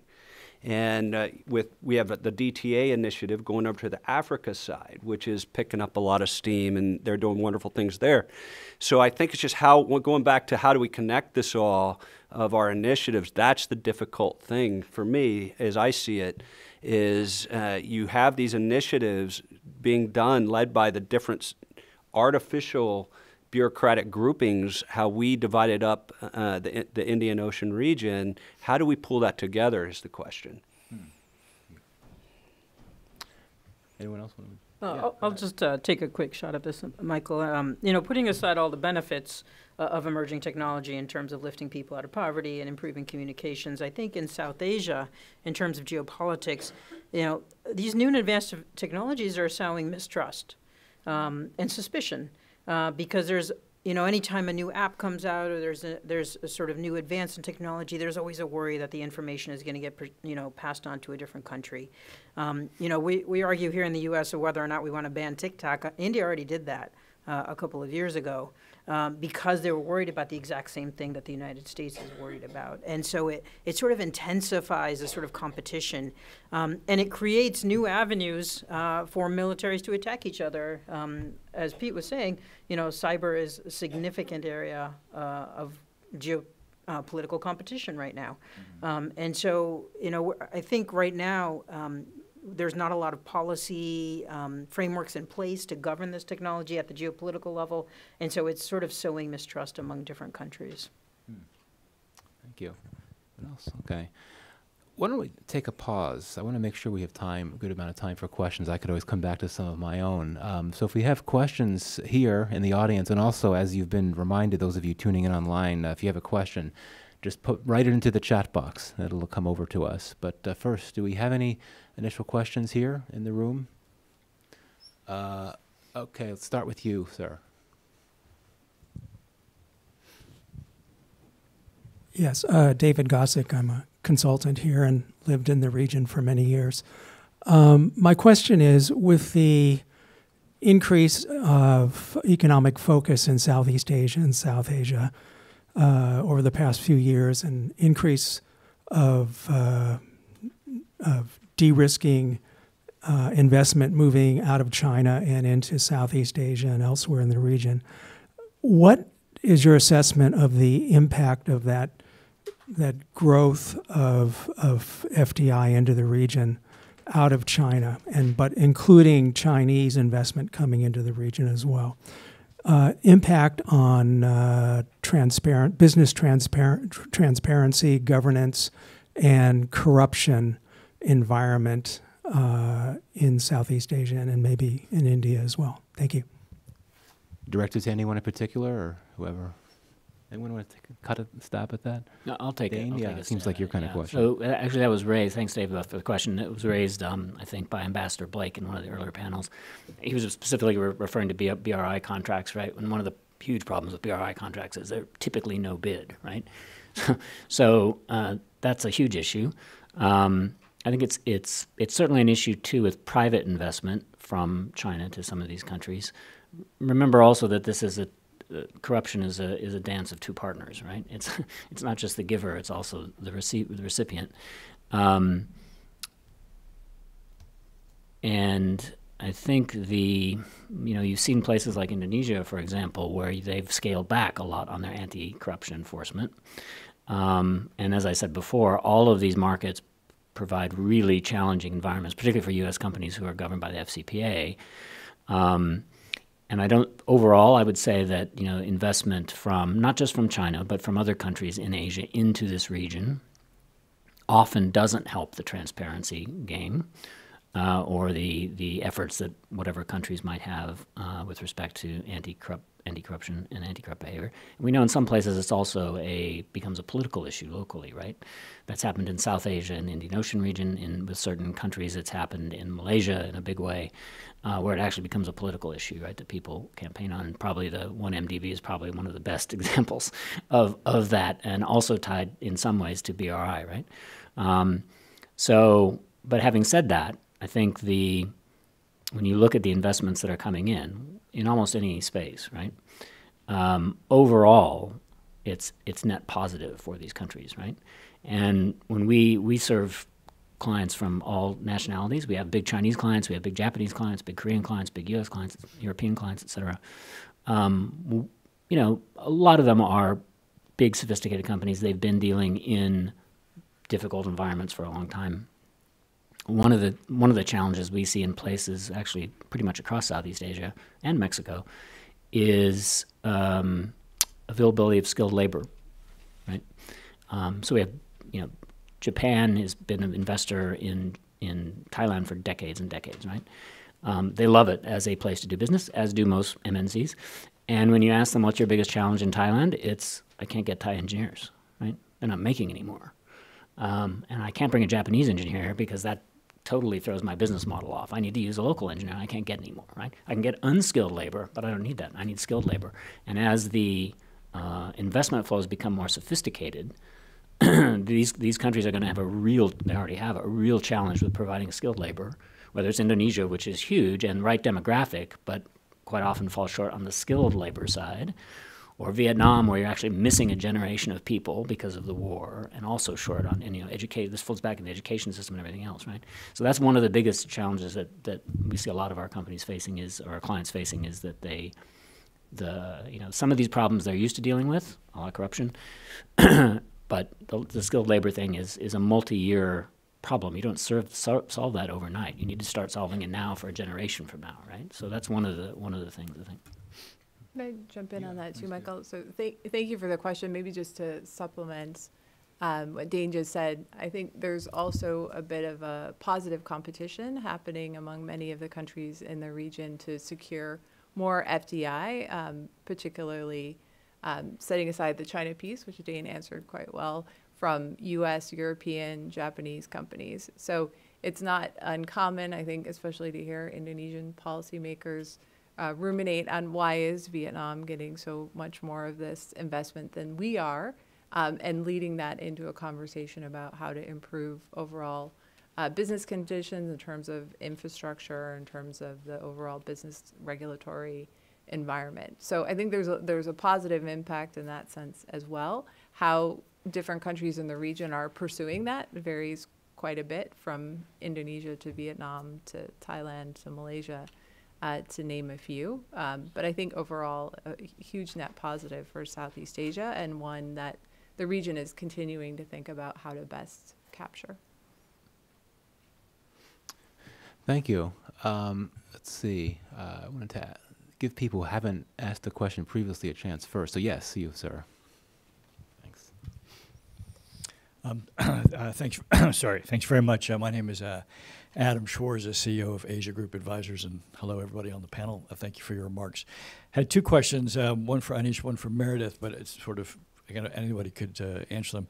Anish, you made a, a, comment in your remarks about. Um, I guess the connection between what you saw as democratic regression and a more pro-China tilt in, a, in the foreign policy arena. Be interested to hear you say more about that, maybe with some examples and, and kind of why why you think that connection holds. Um, and, and, Meredith, you, you, made the point that a number of countries in the region are, uh, rightly so, kind of grappling with how to manage rising China-U.S. Uh, competition, um, and they're all kind of doing it in slightly different ways. Um, uh, curious whether you see any prospect of the region acting as a region on this issue, whether at, a, at an ASEAN level or a mini ASEAN level, um, and whether the kind of the fairly recent arrival of new leaders in Philippines, Malaysia, Thailand, and about to have a new leader in Indonesia, whether this new crop of leaders is more inclined to operate that way than uh, than the people they replaced. Thank you. Anish, you want to go ahead? Yeah, thank you for that question. Um, yeah, I, I think it's a, a connection um, that, that's important to keep in mind for the United States. The, the big exception to this holding is India, right? And there, I don't foresee any situation or any scenario where India sort of becomes an ally of China or tilts towards China just because of the, the strategic competition that exists there. But for a lot of the smaller countries in South Asia, um, we're seeing that the erosion of democracy leads them to be more susceptible to cooperating with China. Maldives is a great example, I think, uh, of this right now. Um, they just had an election earlier this year where they elected someone with a very pro-China tilt, and immediately upon entering office, um, he signed a, a, military cooperation agreement with the Chinese. Um, and what the Chinese bring um, is that, you know, they bring sort of a, not only military cooperation and military assistance, but they also bring economic investment with no strings attached, right?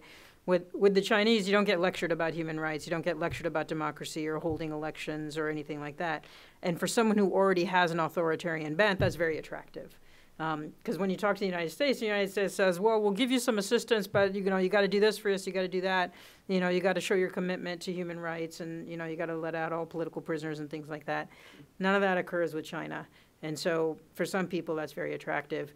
Um, and, and, we're seeing this in Nepal. That's happening. Um, they're starting to tilt towards China as well because they've now got a communist government uh, sort of in office. Um, and so we have the very real possibility of a significant number of smaller South Asian countries uh, being more sympathetic to China than they are to either India or the United States. Meredith?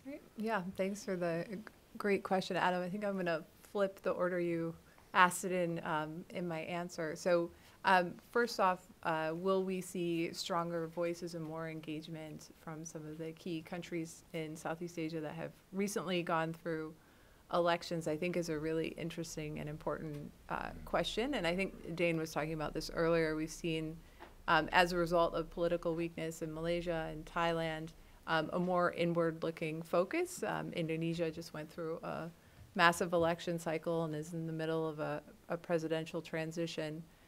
Um, and with Marcos, we saw a real change in policy from the Duterte administration in terms of the appetite um, and enthusiasm for engaging more closely with the United States.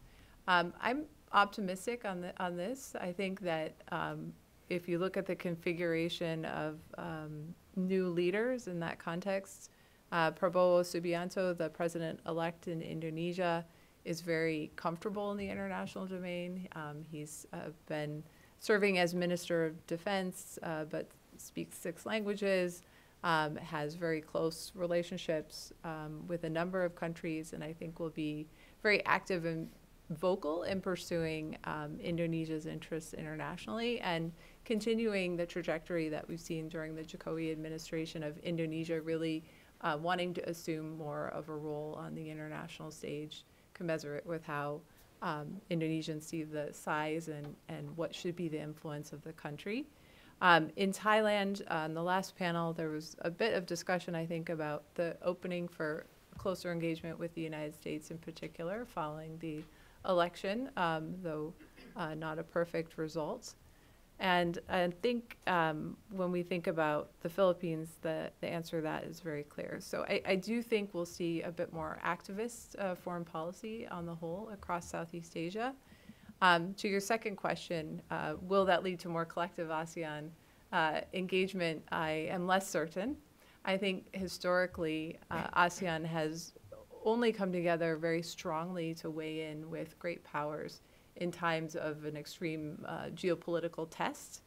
Um, so, in the absence of that, I think we'll probably continue to see the organization try to position itself as a forum for convening, um, for engaging with great powers, but unlikely to weigh in in any meaningful way in how the U.S. and China are, are going to be approaching each other in terms of their bilateral policy. Thank you. Let's take some more questions. Maybe we could combine them. Uh, I know there were some more hands up. Yeah, you had had your hand up earlier. Yes. We'll take your question first. This is a question for Meredith and Dane. And Meredith, you sort of noted that there's some disappointment in the lack of a, the trade and financial um, progress um, being made by the U.S. government. And clearly, this is something that disadvantages U.S. companies. So, looking domestically, do you see any actions by U.S. companies to push the government on this? Um, and if so, do you see any areas where you are at all optimistic that, that there might be a shift or an improvement, or let's say some some beef? Thank you. And let's uh, come back here. Uh, yeah, right here. Um, thank you. My question is uh, to Anish Goel. Uh, you mentioned, you rightly mentioned about uh, that uh, the South Asia is very contentious and geopolitics is also very complex. So uh, it is probably one of the few regions in the whole in the Pacific where all the the prime actors of the current days uh, uh, great power competitions, uh, Russia, China, India, and the U.S. are at play, and probably they have uh, more or less similar influence. So my question is, what do you think would be the U.S. foreign policy in that region going forward? Do you think the U.S. would remain offshore and delegate more power to the India to manage the small and medium power countries in that region, or do you think that U.S. would directly engage with the each and every countries in that region? Thank you. Thanks. And I think there was a hand over here on this side. Was yes, please. Yeah. Uh, thank you. It's closely related. Uh, I wanted to ask uh, Dr. Anish Goel what made the, the, ch- the shift in India to engage more with the United States versus the traditional relationship with Russia? Let's take things back to the panel. Anish, you want to go first? Several those sure. questions directed to you. Uh, I'll, I'll start with your question about um, what will be the Un- United States policy uh, going into the region. And I, I actually think it's a, a hybrid of what you described. It's going to be partnership with India uh, and sort of uh, trying to manage the region. There, there is no way that India will let the United States become the most dominant player in the region. Um, they view South Asia as their backyard, rightly, and uh, they want to be the ones calling the shots there. At the same time, um, India is, I, I think, you know, I don't want to speak for the Indian government or the U.S. government, but um, uh, I think India is coming to the realization that the United States can be a stabilizing force, um, and that they can that that they have shared interests right now, um, and it's it's important to take advantage of that um, that um, confluence uh, of interests right now. So I so I think it's going to be partnerships. Um, there are, there are a number of examples of the United States tried to come in to some maybe some of the smaller countries and do something on their own, and India was the one that stopped it because they don't they don't want uh, the United States having independent relationships with them. Um, so it's going to be partnerships going forward. Um, in terms of why India is, uh, you know, maybe um, uh, having a shift and becoming closer to the United States, I, I think it all has to do with China. Um, as the India-China competition has flared over the recent years, it has pushed India closer to the United States. India sees the benefit of being sort of a major strategic partner of the United States um, in keeping sort of uh, Chinese ambitions at bay. Um, and the United States has not been shy about courting India in this regard.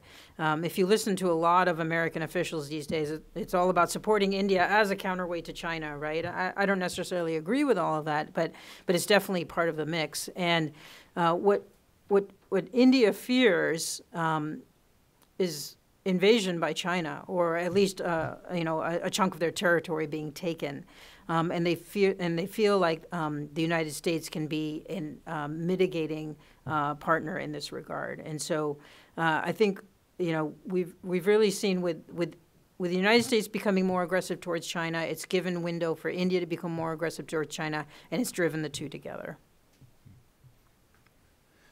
Did you want to go ahead? Yeah, maybe I'll come back to um, Piper's important question about the prospects for enhanced um, U.S. trade leadership uh, in the region and what role the private sector is playing in those conversations.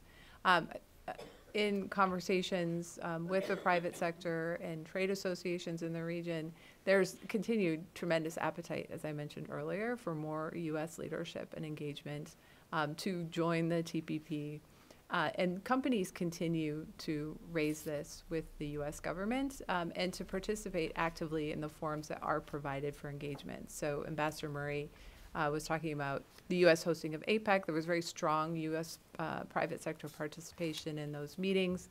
Um, the U.S. private sector has participated in the IPEF dialogues to the maximum extent possible, um, despite those being non-binding agreements, which I think really demonstrates that um, there is a, a, hope that that will seed something that's more binding and has more market access provisions in the future.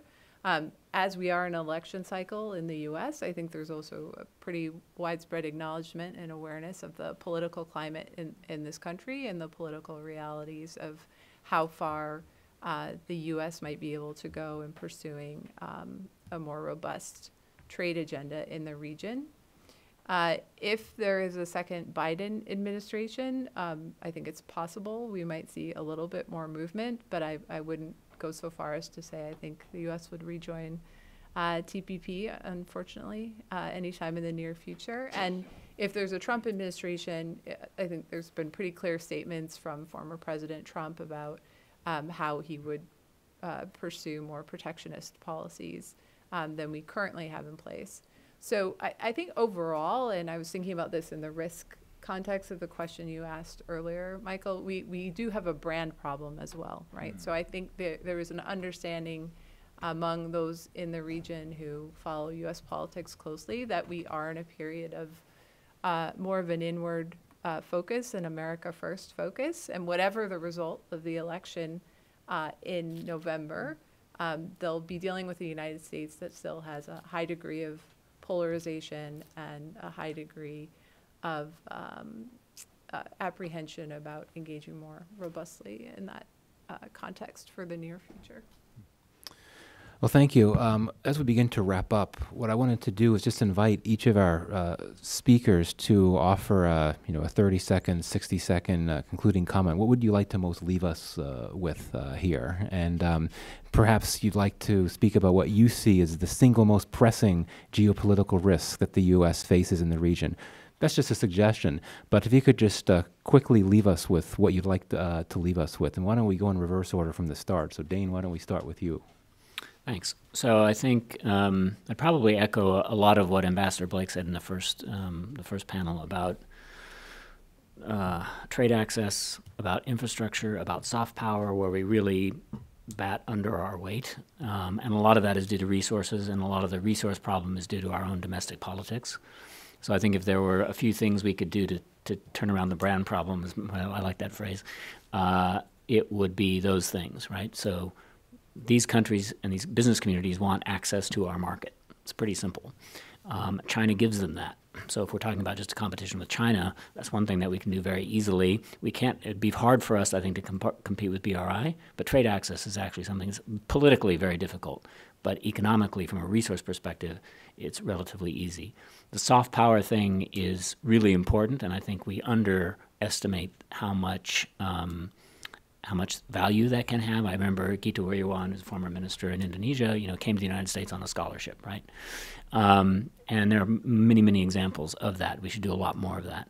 I think the thing that business could do better in this these this regions that we're talking about, but generally speaking globally, is uh, have a slightly longer term view. So when I think about um, you know, think about a country head, uh, regional head of a U.S. multinational versus, let's say, maybe their Japanese or Chinese counterpart.